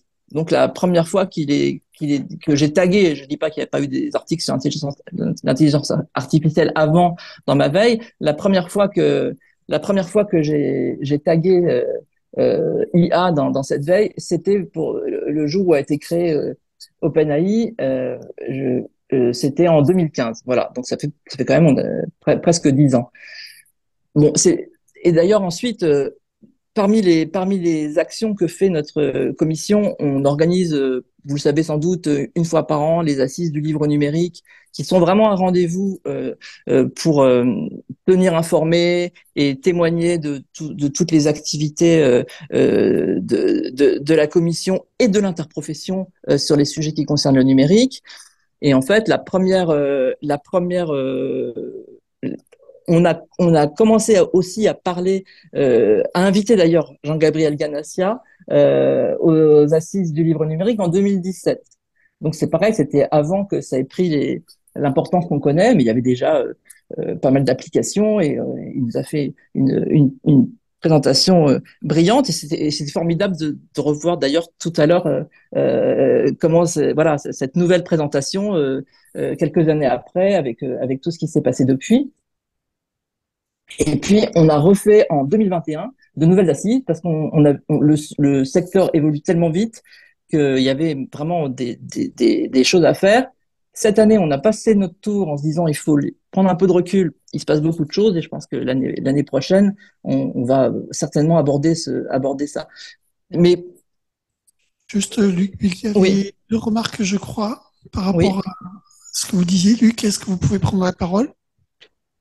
Alors, euh, je réponds à des questions sur le chat euh, qui, euh, qui concernaient euh, euh d'une part, est-ce que en tant qu'auteur, mes ouvrages peuvent être utilisés par les IA euh, donc je répondais que euh, euh, euh, oui, et même si euh, les ouvrages numériques n'existaient pas, n'étaient pas disponibles, ça n'empêchait pas des gens de les océariser et mettre à, disposition sur des plateformes pirates. Donc c'est pas le, le, le, comment dire. alors là on parle en termes statistiques. Hein, chaque ouvrage n'est pas est pas forcément disponible, même même s'il a été, n'a pas de forme numérique commerciale. Euh, donc il y a, y a, cette dimension-là. Moi, j'aimerais juste revenir sur, sur un, point qui était abordé euh, tout à l'heure par Frédéric Montbové concernant la comment dire la transparence dans la chaîne. Euh, il y a effectivement beaucoup, beaucoup de choses relativement comment dire, euh, avec deux camps euh, qui, qui, qui s'opposent avec euh, leurs moyens et, et, et, et là-dessus, les acteurs, on va dire, du livre, des métiers du livre, ont, ont, des moyens beaucoup plus limités que les acteurs des industriels du, du numérique. il y a quand même quelques signaux intéressants concernant l'image, avec l'adoption d'une d'une norme de métadonnées dans, dans, dans, le numérique, euh, euh la documentation euh, sur euh, la vie d'un fichier numérique, et, ça s'appelle des métadonnées. Et il y a une, un standard qui, qui, qui, se met en place et qui réunit plusieurs acteurs qui sont Adobe, donc le numéro un des éditeurs de logiciels de traitement d'image, Leica et Nikon, qui, qui permet de comment dire, de mettre euh, euh, une information euh, qui est cryptée, native et qu'on peut pas qu'on peut pas modifier dans les fichiers euh, photographiques au moment de la prise de vue. Et toutes les modifications ultérieures de l'image sont documentées dans ces métadonnées et euh, ça permet euh, du coup de voir l'évolution. alors d'une part comment l'image a été, dans quelles conditions elle a été prise, et puis surtout les traitements qui ont été faits sur l'image.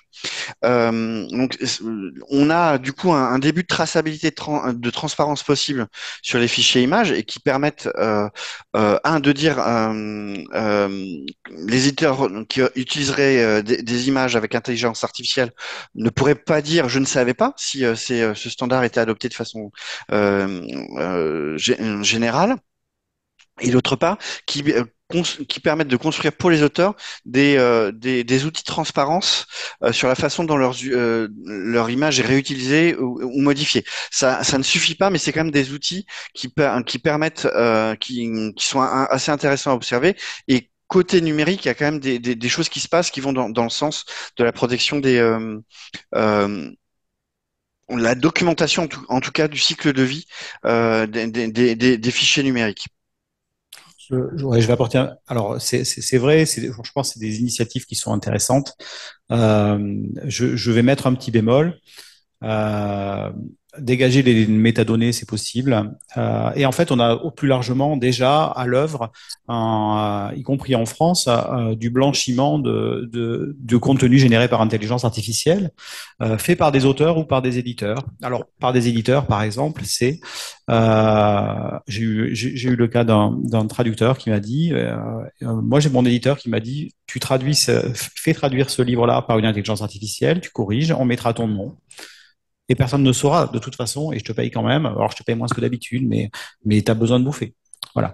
Euh, donc euh, on a la même chose. J'ai vu passer une annonce euh, hier d'un d'un auteur qui avait généré un livre pratique par une intelligence artificielle et qui demandait à, à qui, qui posait une annonce pour avoir un correcteur qui lui modifie le texte de telle sorte qu'on ne puisse plus voir que c'était fait par une intelligence artificielle. Donc euh, voilà, on est on est là-dessus. Et euh, et, et, tout ça, tout ça est du coup assez. Euh, euh, bon, évidemment, c'est très très positif, mais il y a déjà plein de gens qui sont en train de dire je veux tricher. Je, enfin, ils sont là pour ça. Le euh, Amazon, par exemple. Oui. Est-ce que je peux, est-ce que je peux te apporter un complément là-dessus? Bien sûr, moi je suis allé, je suis allé, j'ai fait des recherches précises sur Amazon et, j'ai identifié des, des auteurs euh, qui ont généré, par exemple, 300 livres euh, en un an, qui vendent 1,50€ le livre. Euh, c'est évident, c'est évidemment absolument euh, scandaleux et il faut, il faut que, voilà, il faut lutter contre. Mais ce que je crois, c'est quand même que, quel que soit le secteur dans lequel on est, quel que soit le champ disciplinaire, il y a toujours des petits malins qui font des trucs complètement stupides et qui ont un rapport euh, à la vie qui est un rapport d'avidité et voilà. Et ça on, on, le changera jamais. Donc on, il faut lutter contre parce que c'est c'est de, la pure euh, délinquance. Mais je, je il me semble quand même un peu dangereux enfin dangereux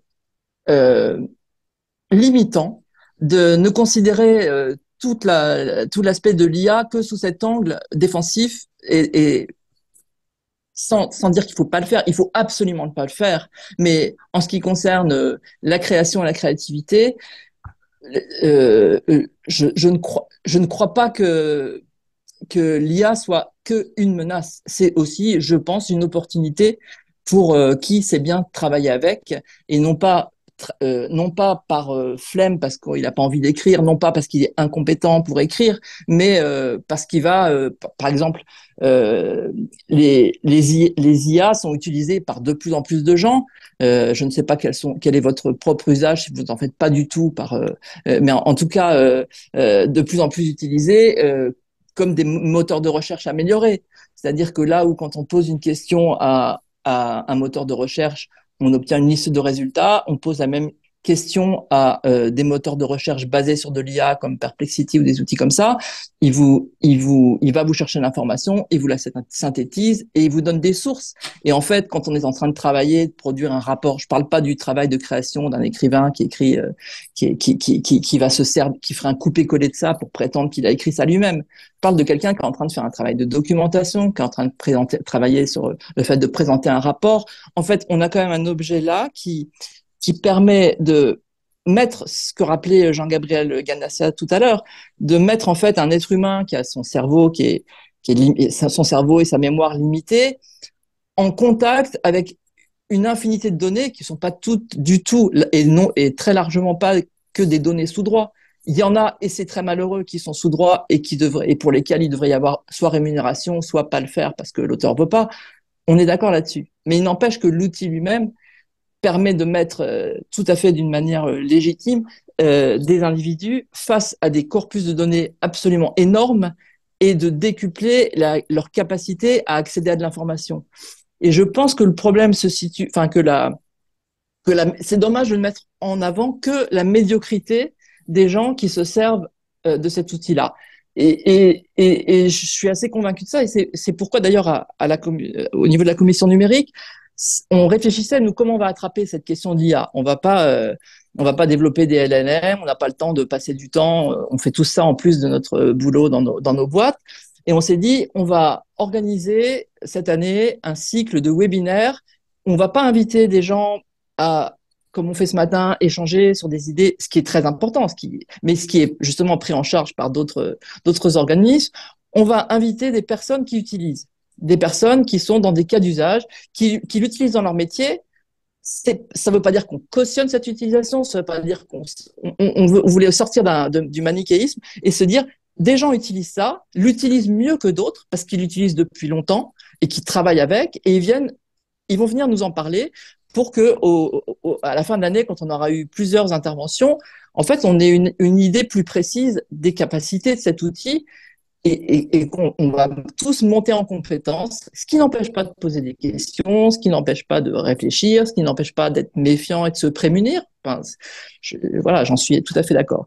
Et donc, on a, on a notamment invité Étienne Mineur, qui est, qui est, qui est, qui est un des un de ceux qui s'est le plus vite intéressé à, euh, aux IA génératives dans le domaine de l'image et qu'il l'a fait d'une manière, euh, je trouve, intéressante parce qu'il l'a, il l'a pas fait en se disant, euh, je sais pas dessiner, euh, je vais faire dessiner la machine. Il, il, il, a, il a fait en poussant dans, dans, les retranchements, en travaillant le rapport entre le texte et l'image, c'est-à-dire quel texte je génère pour obtenir telle image et comment je travaille ensuite par itération jusqu'à obtenir l'image que moi j'ai en tête. Et, et Étienne Mineur, c'est, c'est, c'est quelqu'un qui est concepteur graphique. Et donc, en fait, ce qui, lui, ce qui, ce qui montre, c'est comment il utilise l'IA comme un instrument et non pas pour faire à sa place et que et en fait comme tous les instruments si vous mettez un violon entre les mains de quelqu'un qui sait pas jouer du violon il va produire des sons absolument atroces mais si quelqu'un utilise un instrument avec talent parce qu'il sait l'utiliser il va pouvoir faire des choses avec et pas pour dire après c'est moi qui l'ai fait pour dire je l'ai fait ça avec de l'IA. Étienne Mineur, quand il fait une image, il fait pas que des images avec de l'IA, mais quand il fait des images avec de l'IA, il dit j'ai fait ça avec de l'IA. Et aussi, il intervient dans des écoles d'art un peu partout, parce que les étudiants qui sont formés aujourd'hui, de toute façon, ils vont être confrontés. Et est-ce qu'il vaut mieux, quand on est confronté à des outils comme ça, arriver en étant complètement ignorant de la manière dont on s'en sert, ou est-ce qu'il vaut mieux euh, savoir euh, savoir les usages Et en fait, il nous a montré des travaux que faisaient ces étudiants avec une extrêmement grande diversité de façons d'interagir avec l'IA et de faire des choses avec. Voilà, et, et, et, avec en plus un goût, un goût de leurs étudiants pour pour le dessin manuel, pour des choses, pour le papier. Enfin, c'est pas tout ça n'est pas antinomie. Bon, ça c'est un premier exemple. Et le deuxième invité qu'on a eu, c'est on a invité un éditeur juridique. Alors, comme bien souvent, quand il y a des quand il y a des innovations techno, ce sont les éditeurs euh, scientifiques et les éditeurs professionnels qui s'en emparent les premiers parce que ils sont dans des modèles euh, complètement différents des autres éditeurs puisqu'ils puisqu'ils vendent des accès à des à des articles des articles scientifiques ou des articles professionnels et ils vendent aussi des services. Et, et, donc tous, pratiquement, sans aucune exception, que ce soit les éditeurs euh, professionnels, les éditeurs scientifiques, euh, ont commencé à proposer des services basés sur de l'IA.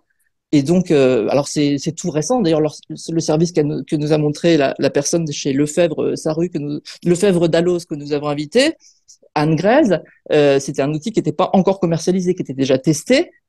Et bon, voilà, c'est un produit. Il s'agissait pas de faire de la promotion de son produit auprès de gens qui sont pas du tout ses clients, il s'agissait pour elle de témoigner de la façon dont euh, les rédacteurs qui sont chez eux avaient accueilli ce projet, comment ça avait été accompagné, qu'est-ce que, quels étaient les dangers, qu'est-ce qui se passait si quand on est quand on fait de l'édition juridique, euh, comment on gère les hallucinations. Bon, en fait, on a pu poser des questions, il y a eu des réponses.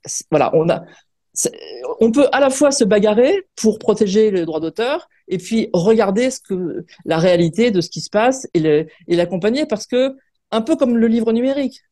Si on a une position que défensive, si on avait une position uniquement défensive en disant le livre numérique, jamais on va numériser nos catalogues, ça menace ceci, ça menace cela, ben en fait, euh, on se serait retrouvé dans la position des gens de la musique avec un, énorme piratage. C'est d'autres gens qui auraient, numérisé nos livres, euh, et puis euh, et puis on n'aurait pas développé un standard qui était notre standard. donc il faut occuper aussi les territoires, il faut s'approprier aussi les technologies si on veut arriver à faire évoluer nos métiers et, à, bien et à prendre des, décisions éclairées. Voilà ce, que je voulais dire pour euh, pour montrer comment finalement s'articulent les différentes euh, commissions. Est-ce que vous souhaitez réagir? Euh, Oui, alors je pense qu'on peut faire des tas de trucs avec de l'intelligence artificielle. Probablement des trucs super, probablement des trucs nuls à chier. C'est, on peut faire plein de choses. j'ai quand même deux trois remarques. La première, c'est qu'effectivement, Lefebvre Dalloz ou LexisNexis sont tous les deux en train de sortir des, IA euh, sur leur, euh, corpus, euh, leur corpus de droit. J'attends avec impatience de voir si les articles que j'ai écrits pour Lefebvre Dalloz sont dans le corpus, parce que si, c'est le cas, je me ferai un plaisir de les assigner. les rédacteurs, en fait, pour Lefebvre Dalloz, par exemple, personne n'est prévenu, en fait. C'est euh, tout le monde est freelance, tout le monde est prof de droit, avocat ou autre. Personne n'a été prévenu de ce que le Lefebvre Dalloz était, fait, était en train de faire. Ou, et je pense que c'est exactement la même chose du côté de LexisNexis. Hein. Donc là, c'est la même. Mais il est évident que euh, la notion euh, de, de dire je vais fouiller dans un corpus de textes de droit, en faire une synthèse, et, donner des références d'articles sur lesquels, euh, quand je suis en train de faire une recherche sur un texte de droit, euh, pour, pour, aller lire les articles, évidemment, c'est séduisant et c'est intéressant.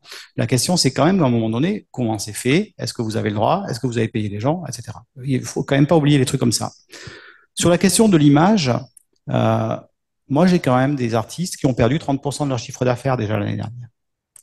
Le, on, donc, oui, on peut faire des images en utilisant l'intelligence artificielle. On se retrouve euh, cependant assez rapidement dans, ce, que j'ai évoqué tout à l'heure, à savoir euh, on rentre dans un, modèle de surproduction individuelle euh, qui, qui, va poser un problème au corps social des, des, artistes auteurs, producteurs d'images. Donc c'est quelque chose qui doit être pensé en, en, tant que tel. Il y a des tas d'œuvres hyper intéressantes qui ont été faites sous LSD.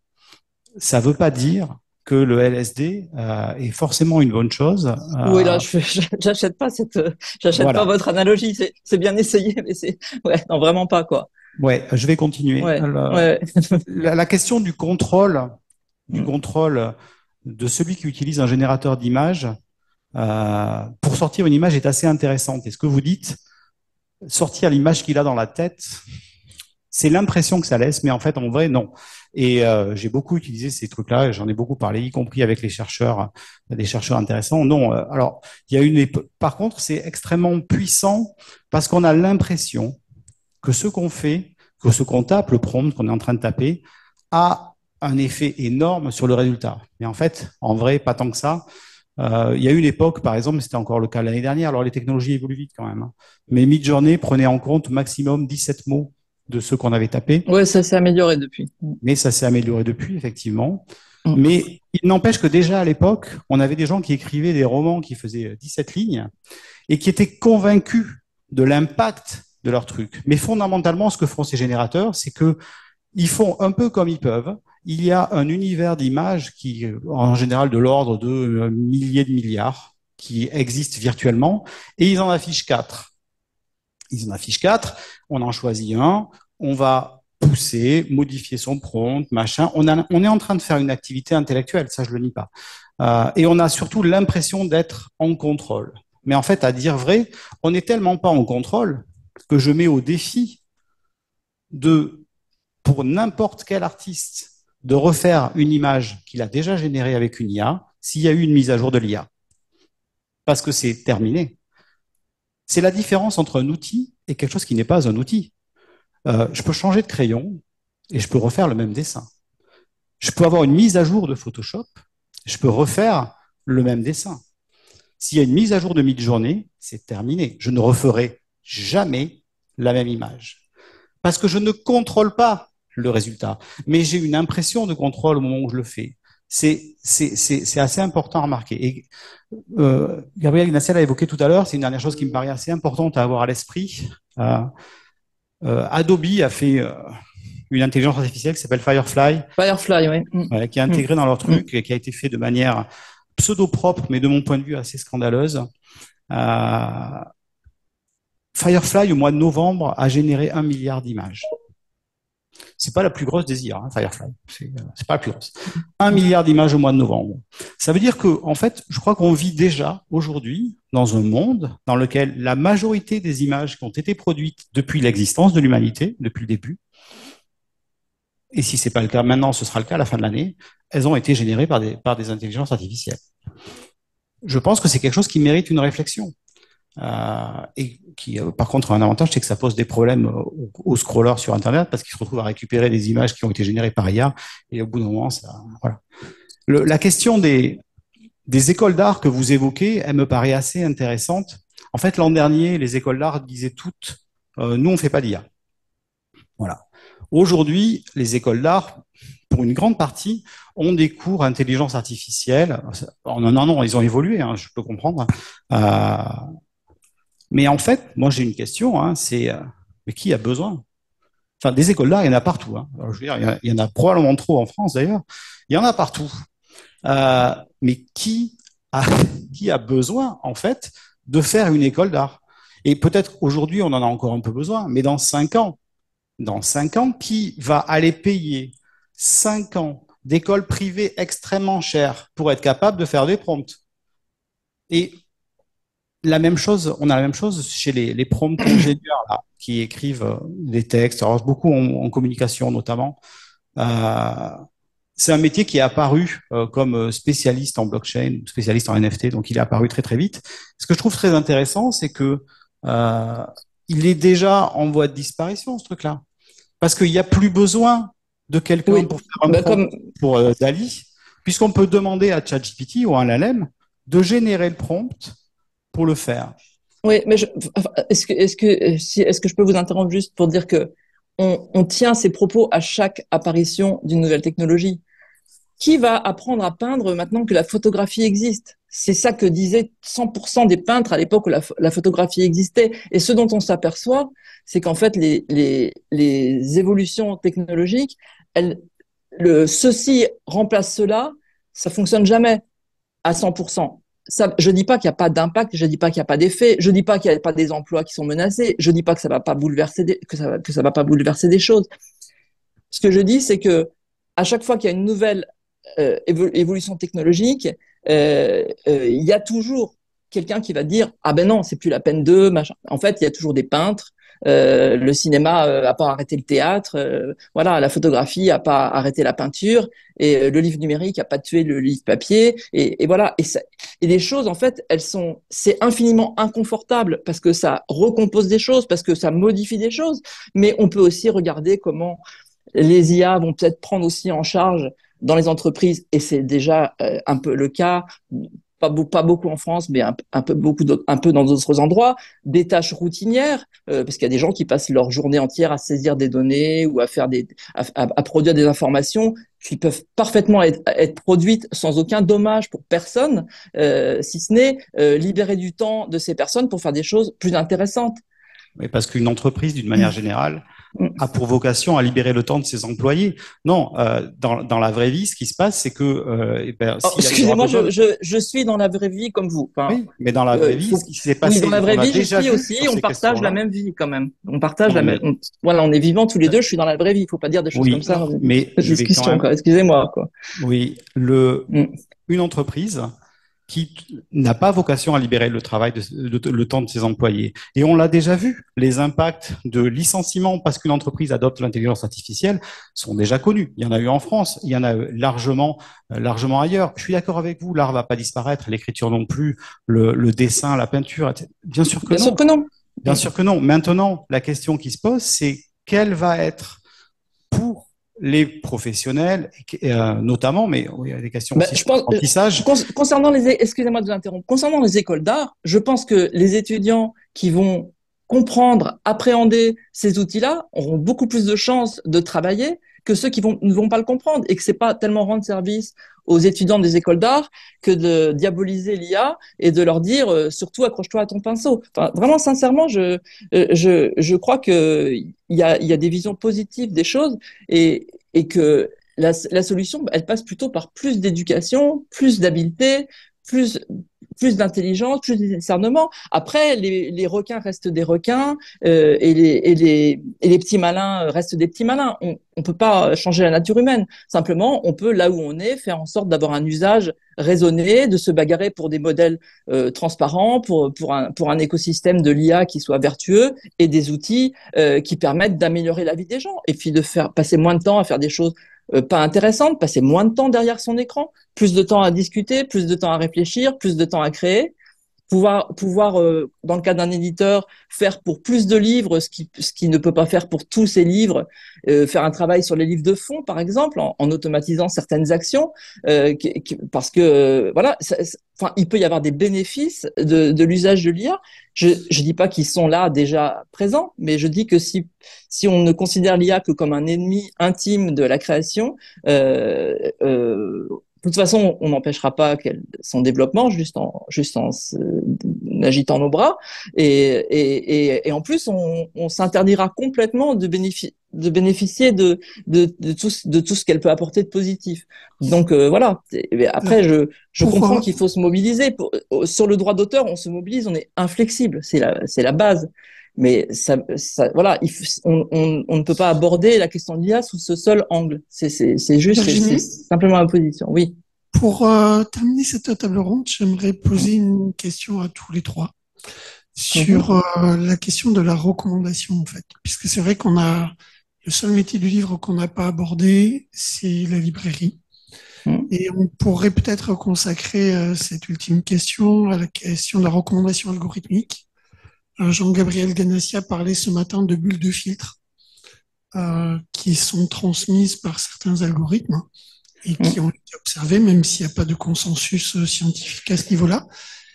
Euh, on risque d'avoir de plus en plus de, de recommandations liées à l'IA. On en a déjà avec Glyph, qui est un outil français qui propose sur le site web des librairies d'avoir des listes de livres euh, recommandés avec une partie euh, des algorithmes générés par mmh. l'IA. Mmh, mmh. Est-ce que l'un de vous trois ou les trois, vous voulez sur, sur, sur, Glyph, je, sur Glyph, je veux bien, je veux bien enchaîner parce que j'ai, je, je, connais bien cette euh, startup que j'ai suivie depuis avant même qu'elle, qu'elle, qu'elle se soit, qu'elle ait fait sa première levée de fonds.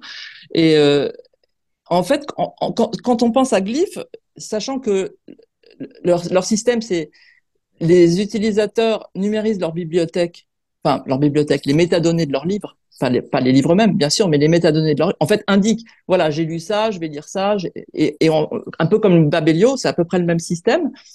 Et en fait, eux, ce sur quoi ils travaillent, c'est sur les, c'est sur les comportements et les, et les, et les discours de leurs utilisateurs.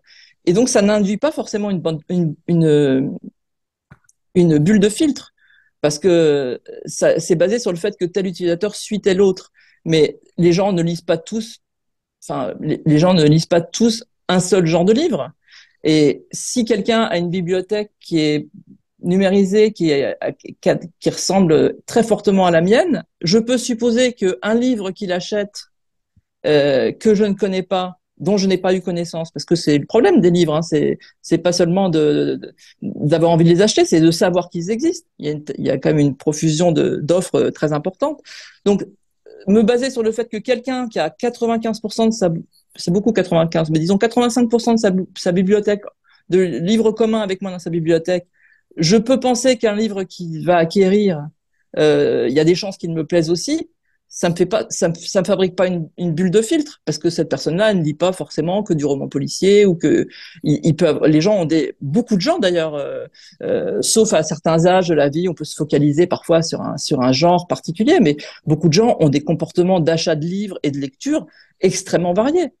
Donc euh, euh, je, pense que la, recommandation basée sur l'IA euh, est pas forcément quelque chose qui vous enferme dans une bulle de filtre. Si on, si, base sur, sur les outils proposés par euh, des glyphes ou des babelio, qui proposent ces outils-là euh, non seulement aux libraires, mais aussi, mais aussi aux éditeurs. Du coup, euh, oui, la question de la recommandation algorithmique. Alors, euh, bon, on, est largement euh, dedans. Dès, qu'on prend un, bouquin, enfin ou n'importe quoi. D'ailleurs, si on achète sur Amazon, on a automatiquement, en fonction de tonnes de cookies, etc., d'autres d'autres livres. Ah, vous avez regardé celui-là, peut-être que celui-là vous intéresse, etc.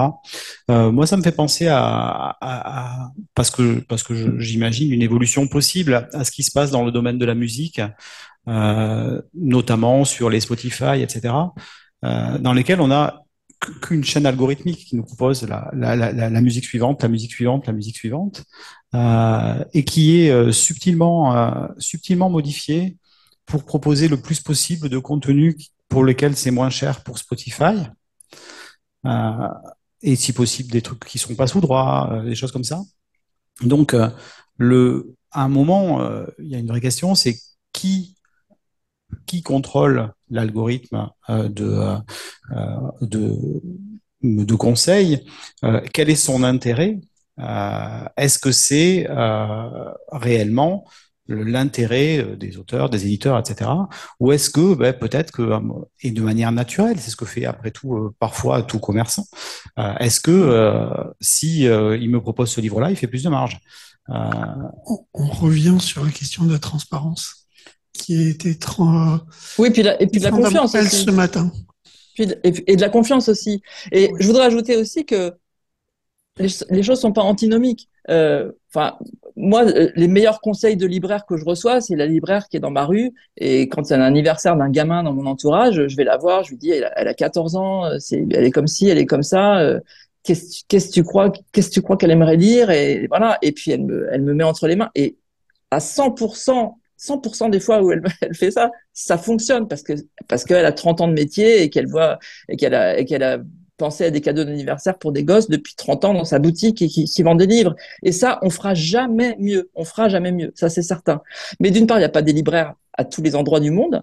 Euh, il y a des endroits isolés et, euh, et, et, en fait, il y, a des, il y a des choses qui sont complémentaires. On n'est pas tout le temps obligé d'être euh, l'un contre l'autre. les, les humains font beaucoup mieux que les, que les, que les algorithmes sur énormément de domaines.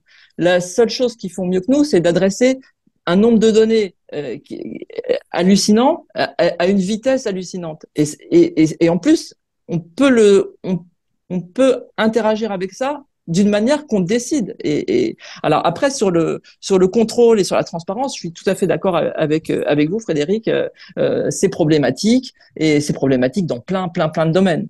Ça. Je vais me permettre juste euh, un truc parce que ça, ça m'évoque ce que vous dites sur le, le fait que les, les, humains font mieux, etc. Bon, déjà, évidemment, malheureusement, c'est pas pour tout. C'est pas. C'est. On est toujours sur. Euh, voilà. Mm. Mm. Non, mais c'est souvent vrai, pas toujours, etc., évidemment, mais le, problème qu'on a, nous, en tant qu'auteur, euh, c'est pas de faire mieux. Euh, le problème qu'on a, c'est à combien ça coûte. d'une manière générale, euh, une image de couverture d'un bouquin, un éditeur qui va la commander, va la payer 500 balles, grosso modo. Ça peut être un peu plus, ça peut être un peu moins, mais c'est de cet ordre-là. Comment font les, euh, les professionnels euh, qui se retrouvent en concurrence avec des, euh, des, des, machines, hein, des intelligences artificielles ou, et ou leurs utilisateurs qui vont la sortir à 20 balles. Le, l'argument de la qualité, c'est pas du tout pour ça que vous l'avez évoqué là, mais ça m'y fait penser, mais que la qualité de la traduction, etc. J'ai beaucoup discuté avec les traducteurs qui me disent, mais ouais, mais l'IA, elle comprend pas bien, elle traduit pas toujours correctement, etc. Et c'est vrai. C'est vrai. C'est vrai, mais elle la traduit pour 10 balles. Donc, évidemment, si un éditeur a acheté un livre cher en droit étranger, euh, il va toujours se dire, ouais, mais j'ai payé cher les droits, je vais quand même faire l'effort de mettre un, traducteur là-dessus, euh, important. Mais il y a aussi, et, ça pourrait se comprendre, à un moment donné de dire ouais mais bon ça c'est j'ai besoin de ça pour alimenter pour sortir la parce que certains éditeurs sont dans une optique on va dire de, de fournir sortir des bouquins et des bouquins et des bouquins. Euh, est-ce que là ça vaut le coup de payer cher quelqu'un? Ou est-ce que je prends une image que je fais faire rapidement par mon service graphique? Est-ce que je fais faire la traduction corrigée rapidement? On a déjà des maisons une maison de philosophie par exemple j'ai pu voir ça qui a demandé enfin qui a fait une demande de poste de quelqu'un qui traduirait par intelligence artificielle euh, les, recueils. L'objectif, c'est un, objectif euh, tout simplement euh, économique. Et cette concurrence économique-là, qui est une concurrence qui est, à mon sens, assez déloyale, mais qui, est là, c'est ça qui, euh, qui nous pose un vrai problème et qui fait que la qualité, elle va toujours exister et l'art aussi. Mais est-ce que on peut survivre en tant que corps social relativement large dans un système euh, dans lequel on se retrouve en concurrence frontale avec des trucs qui vont nous qui coûtent dix fois moins que nous, c'est ça l'enjeu pour nous. Et c'est ça qui me paraît pas évident euh, du tout. Merci beaucoup. On va peut-être s'arrêter là. Je ne sais pas s'il y a des questions. Il y a peut-être pas mal de questions. On va en prendre quelques-unes. Alors, nous avons le temps pour quelques questions. Euh, il n'y en a pas via Zoom, donc la parole est à la salle.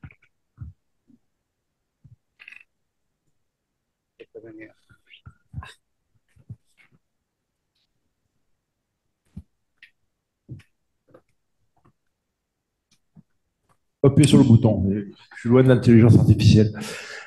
Euh, non, j'ai juste une question, je ne vais pas rebondir et puis donner mon avis, mais il y a juste une question que je me pose, c'est euh, si tout est généré par IA, qu'on baisse les coûts, que les gens ont de moins en moins de travail ou peuvent difficilement en, vendre, en vivre, euh, qui c'est qui va acheter les livres?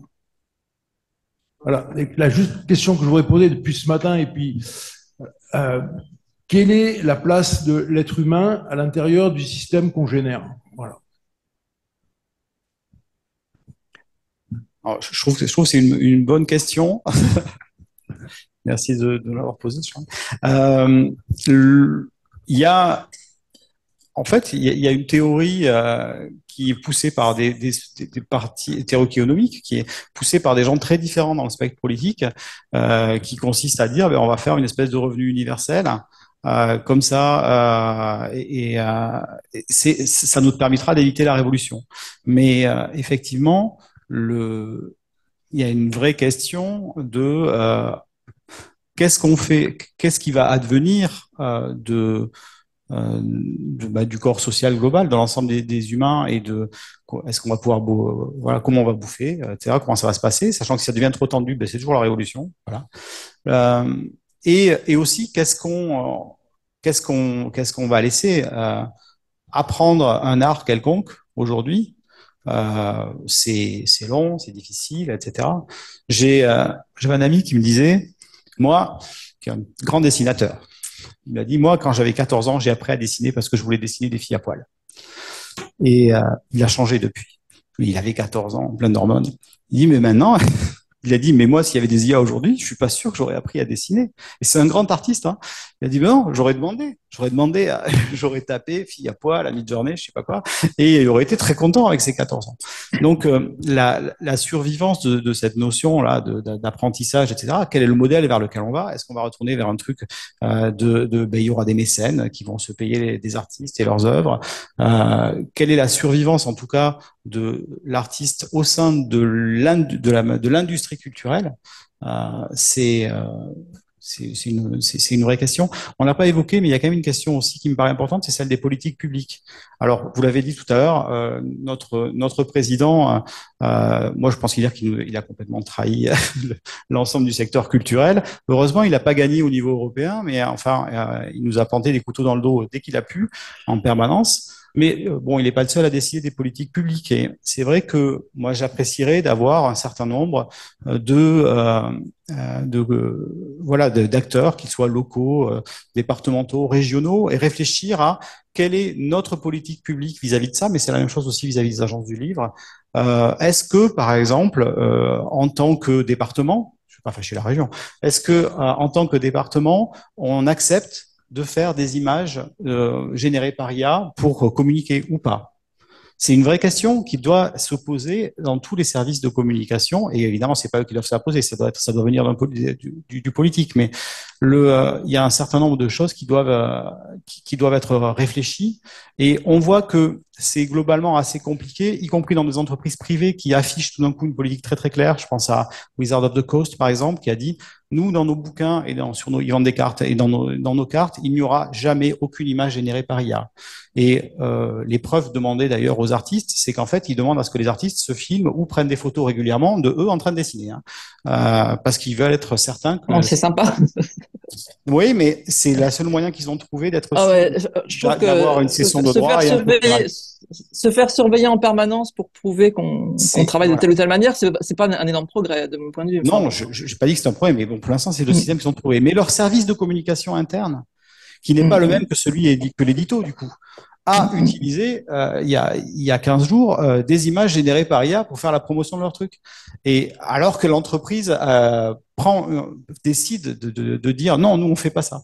Donc euh, au sein même des différentes structures, on a des services qui vont, vont avoir des appréhensions qui peuvent être différentes et la praticité évidente hein, euh, de sortir rapidement parce qu'on n'a pas le temps et qu'on est sous tension et qu'on n'a pas le temps d'aller chercher, de faire un appel d'offres, d'aller chercher un dessinateur, de le briefer pour qu'il nous fasse une image machin, alors qu'en fait mmh. en interne et en utilisant mi-journée, on va peut-être la sortir et ça suffira bien.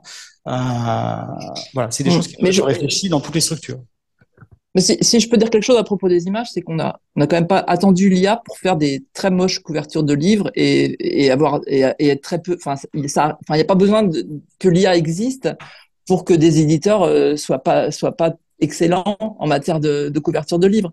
Euh, ça s'est beaucoup amélioré euh, maintenant, mais comment dire, le fait de ne pas utiliser l'IA va pas, dit pas forcément qu'on va s'adresser à, à, à, un artiste. Et puis le, même le fait de s'adresser à un artiste veut pas forcément dire qu'on va avoir une bonne couverture, parce qu'il y a des bons artistes et puis il y a des moins bons artistes. Donc euh, et puis il y a des voilà, c'est, cette espèce de, de fixation sur euh, si je fais pas du tout d'IA, euh, ça, ça, ça, va être mieux, sachant que l'éditeur qui, qui, qui ne s'intéresse pas à ça et qui est avide juste de faire euh, le plus vite possible au moindre coût, de toute façon, euh, s'il n'y a, pas d'IA, il, il, il, il, aurait pas fait, il aurait de toute façon pas fait appel à quelqu'un, quoi. C'est, c'est, certain. Il aurait été prendre une photo dans un stock de je sais pas quoi. Enfin, ça me semble. Je comprends que qu'il y a une inquiétude et, et, je la partage à certains égards, mais euh, je, je crois que le côté euh, absolument euh, euh, engage, s'engager à ne pas s'engager à être exigeant sur la qualité des, objets qu'on fabrique et, et, et, enfin aucun aucun éditeur a envie de travailler avec des avec des faux écrivains et avec des faux artistes. C'est tout le bonheur de faire de l'édition c'est de rencontrer des auteurs c'est de rencontrer des illustrateurs c'est de les faire travailler c'est de faire du bon boulot donc, euh, euh, on ne va pas tous scier ensemble la, branche sur laquelle on est assis. On est, on est heureux de travailler comme ça. Voilà. Donc, euh, je, je, je, trouve qu'il y a une espèce de, voilà, de, soupçon généralisé. Les, éditeurs aussi sont des, sont, des co-créateurs. Ils, ils, créent des collections, ils imaginent des choses, ils, ils, ils apportent leur regard, ils, éditorialisent, ils font un travail qui, dans lequel il y a de la création. Et aucun éditeur n'a envie de, de dévaloriser son propre travail. Si on, si, si, on, si on abaisse la qualité partout, on abaissera aussi la qualité de notre travail. Et quel éditeur a envie d'abaisser la qualité de son travail? Et, et, comme le disait très justement monsieur, euh, à, à, force d'abaisser la qualité, euh, euh, plus personne non plus ne voudra acheter. Parce que le, le, petit malin dont je parlais tout à l'heure, qui faisait des livres à 1,50€ et qui en sort 300 par an, de façon automatique, qu'est-ce qu'il fait? Il va, il va vendre à, à, quelques gogos qui vont se faire attraper dans les premiers temps parce qu'ils croiront que c'est des vrais livres mais ça va, ça va pas durer 100 ans. Il n'y a pas des, il y a pas des lecteurs pour des, des, des bouquins complètement débiles euh, qui font 30 pages et qui racontent n'importe quoi sur n'importe quel sujet. Donc voilà, c'est c'est un peu ma, ma position. On a un témoignage dans la salle euh, d'une correctrice justement, ce qui peut nous permettre de faire un pas de côté. Oui, voilà. pour euh, déjà représenter un peu le métier. Et euh, en fait, nous, enfin, moi, je suis débutante. Hein. Donc, j'ai juste le retour des, co des, collègues qui se servent d'un logiciel euh, de correction. Et, en fait, moi, c'est bien. Enfin, c'est un outil de travail pour nous, apparemment. C'est quel logiciel? Antidote. Ah. J'ai pas envie que les gens l'achètent. Parce que, voilà, c'est aussi notre concurrent c'est notre outil et euh, on se met en concurrence avec. Euh, moi, je, j'essaie de regarder parce qu'il y a beaucoup d'auto-édition et de primo-romanciers, voilà. Et j'essaie de regarder dans mes groupes Facebook, donc c'est vraiment pas les, les, les lieux, euh, bref, les hauts lieux, et euh, juste pour voir comment, comment les nouveaux écrivains, euh, voilà, comment ils travaillent. Et euh, des fois, il y a des correcteurs qui se lancent un petit peu dans, dans le débat, qui disent mais on existe et moi je suis là si vous voulez. moi ça m'énerve, je ferai jamais ça. Et ils répondent toujours non mais ça va, j'ai Antidote. Donc c'est compliqué. Bon, Antidote c'est juste un logiciel de correction, hein. mais là ils commencent à se servir de l'IA. Donc euh, pour faire des reformulations des propositions de reformulation, c'est ce qu'on fait nous. Et euh, voilà, c'est un peu compliqué de voir un, un avenir pour le, ce métier. Euh, donc c'est pour ça. Il y a un peu de crainte. Et... Est-ce qu'il y a... On va prendre une dernière question. Euh, non, je voudrais tout simplement euh, faire part de quelques réflexions en, en liaison avec ma propre euh, introduction. Euh, le débat entre les technophiles et les technophobes euh, est connu, des rituels, euh, à chaque étape de la découverte de, telle ou telle mutation technique, il y a eu les deux camps entre les, promesses et les menaces, etc. C'est classique. Et je pense néanmoins que ce qui a été dit tout à l'heure et que je partage est, est inadapté au cas qui nous occupe. Ce à quoi je fais allusion, c'est l'idée selon laquelle, l'histoire de l'art de ce point de vue-là ne permet pas la moindre hésitation, en effet, euh, la photographie euh, n'a pas porté atteinte à la peinture, euh, le cinéma n'a pas porté atteinte au théâtre, la télévision n'a pas supprimé le cinéma, tout ça est vrai. Et en matière de, de création et d'art, on est dans des logiques effectivement en quelque sorte de, de, de superposition et jamais de substitution. Ça, c'est vrai. Mais je pense que là, euh, c'est une nouvelle donnée euh, anthropologique euh, qui, qui, nous est euh, euh, soumise, dans la mesure où, dans tous les cas précédents, eh bien oui, on savait ce que c'était la peinture, on savait ce que c'était le cinéma, on savait que c'était ce qu'était la télévision, on savait ce qu'était le, le téléphone, etc.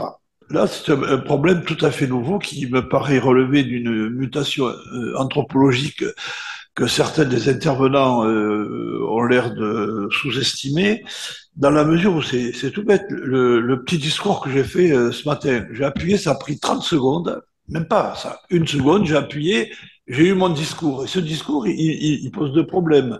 Un, la question qui a été évoquée, qui est la question centrale de la transparence. Parce que ça débouche sur toutes les, les, interpellations autour du droit d'auteur, qui est déjà un problème assez compliqué en soi et qui vient là euh, complètement éradiquer euh, la question euh, des sources. Moi, j'étais universitaire et le propre d'un travail universitaire, c'est que chaque proposition doit être étayée par des sources et les notes de bas de page, les notes infrapaginales, c'est fait pour rendre authentique, crédible le propos qui est tenu. Or, ce que j'ai raconté ce matin, ben, j'ai aucune source. Je ne sais pas sur la base de quoi je me suis exprimé. Et outre la question de la transparence, c'est évidemment la question fondamentale aujourd'hui de la neutralité. C'est-à-dire que moi, mon point de vue sur l'intelligence artificielle est un point de vue euh, plutôt d'anxiété, et le discours que j'ai tenu, euh, créé par euh, euh, les non-sources, c'est un propos totalement optimiste, quasiment dans la volupté technologique. Or, cette question aujourd'hui, dans notre société, de l'absence de neutralité ou de l'éradication de la neutralité à partir de non-référence, de, non-connaissance des sources, ça me paraît effectivement relever euh, d'une mutation anthropologique sans, évidemment, que nous puissions à ce stade conclure de ce qu'il en sera ou de ce qu'il n'en sera pas. C'est-à-dire qu'il y a toujours évidemment des possibilités d'éradication, de résistance, d'occultation, de marginalisation des euh, processus auxquels nous sommes confrontés. Mais de là encore une fois, à, minimiser ou à ignorer le potentiel euh, que ça suppose, euh, je crois que euh, à ce stade, on ne doit pas le faire, même si l'avenir, par ailleurs, pourra peut-être totalement banaliser ce dont on est en train de parler. Il n'en reste pas moins que le potentiel puisque ce terme a été déjà employé, de, menaces, d'interpellations, de bousculement ou de bouleversement d'un certain nombre euh, de, nos données dans le domaine culturel ne peut pas être euh, ignoré. Merci beaucoup. On va clôturer maintenant cette table ronde et je voudrais remercier Luc, Virginie, donc euh, et Frédéric d'être, d'avoir été parmi nous ce matin et de nous avoir fait partager leur, leur expertise et leur savoir.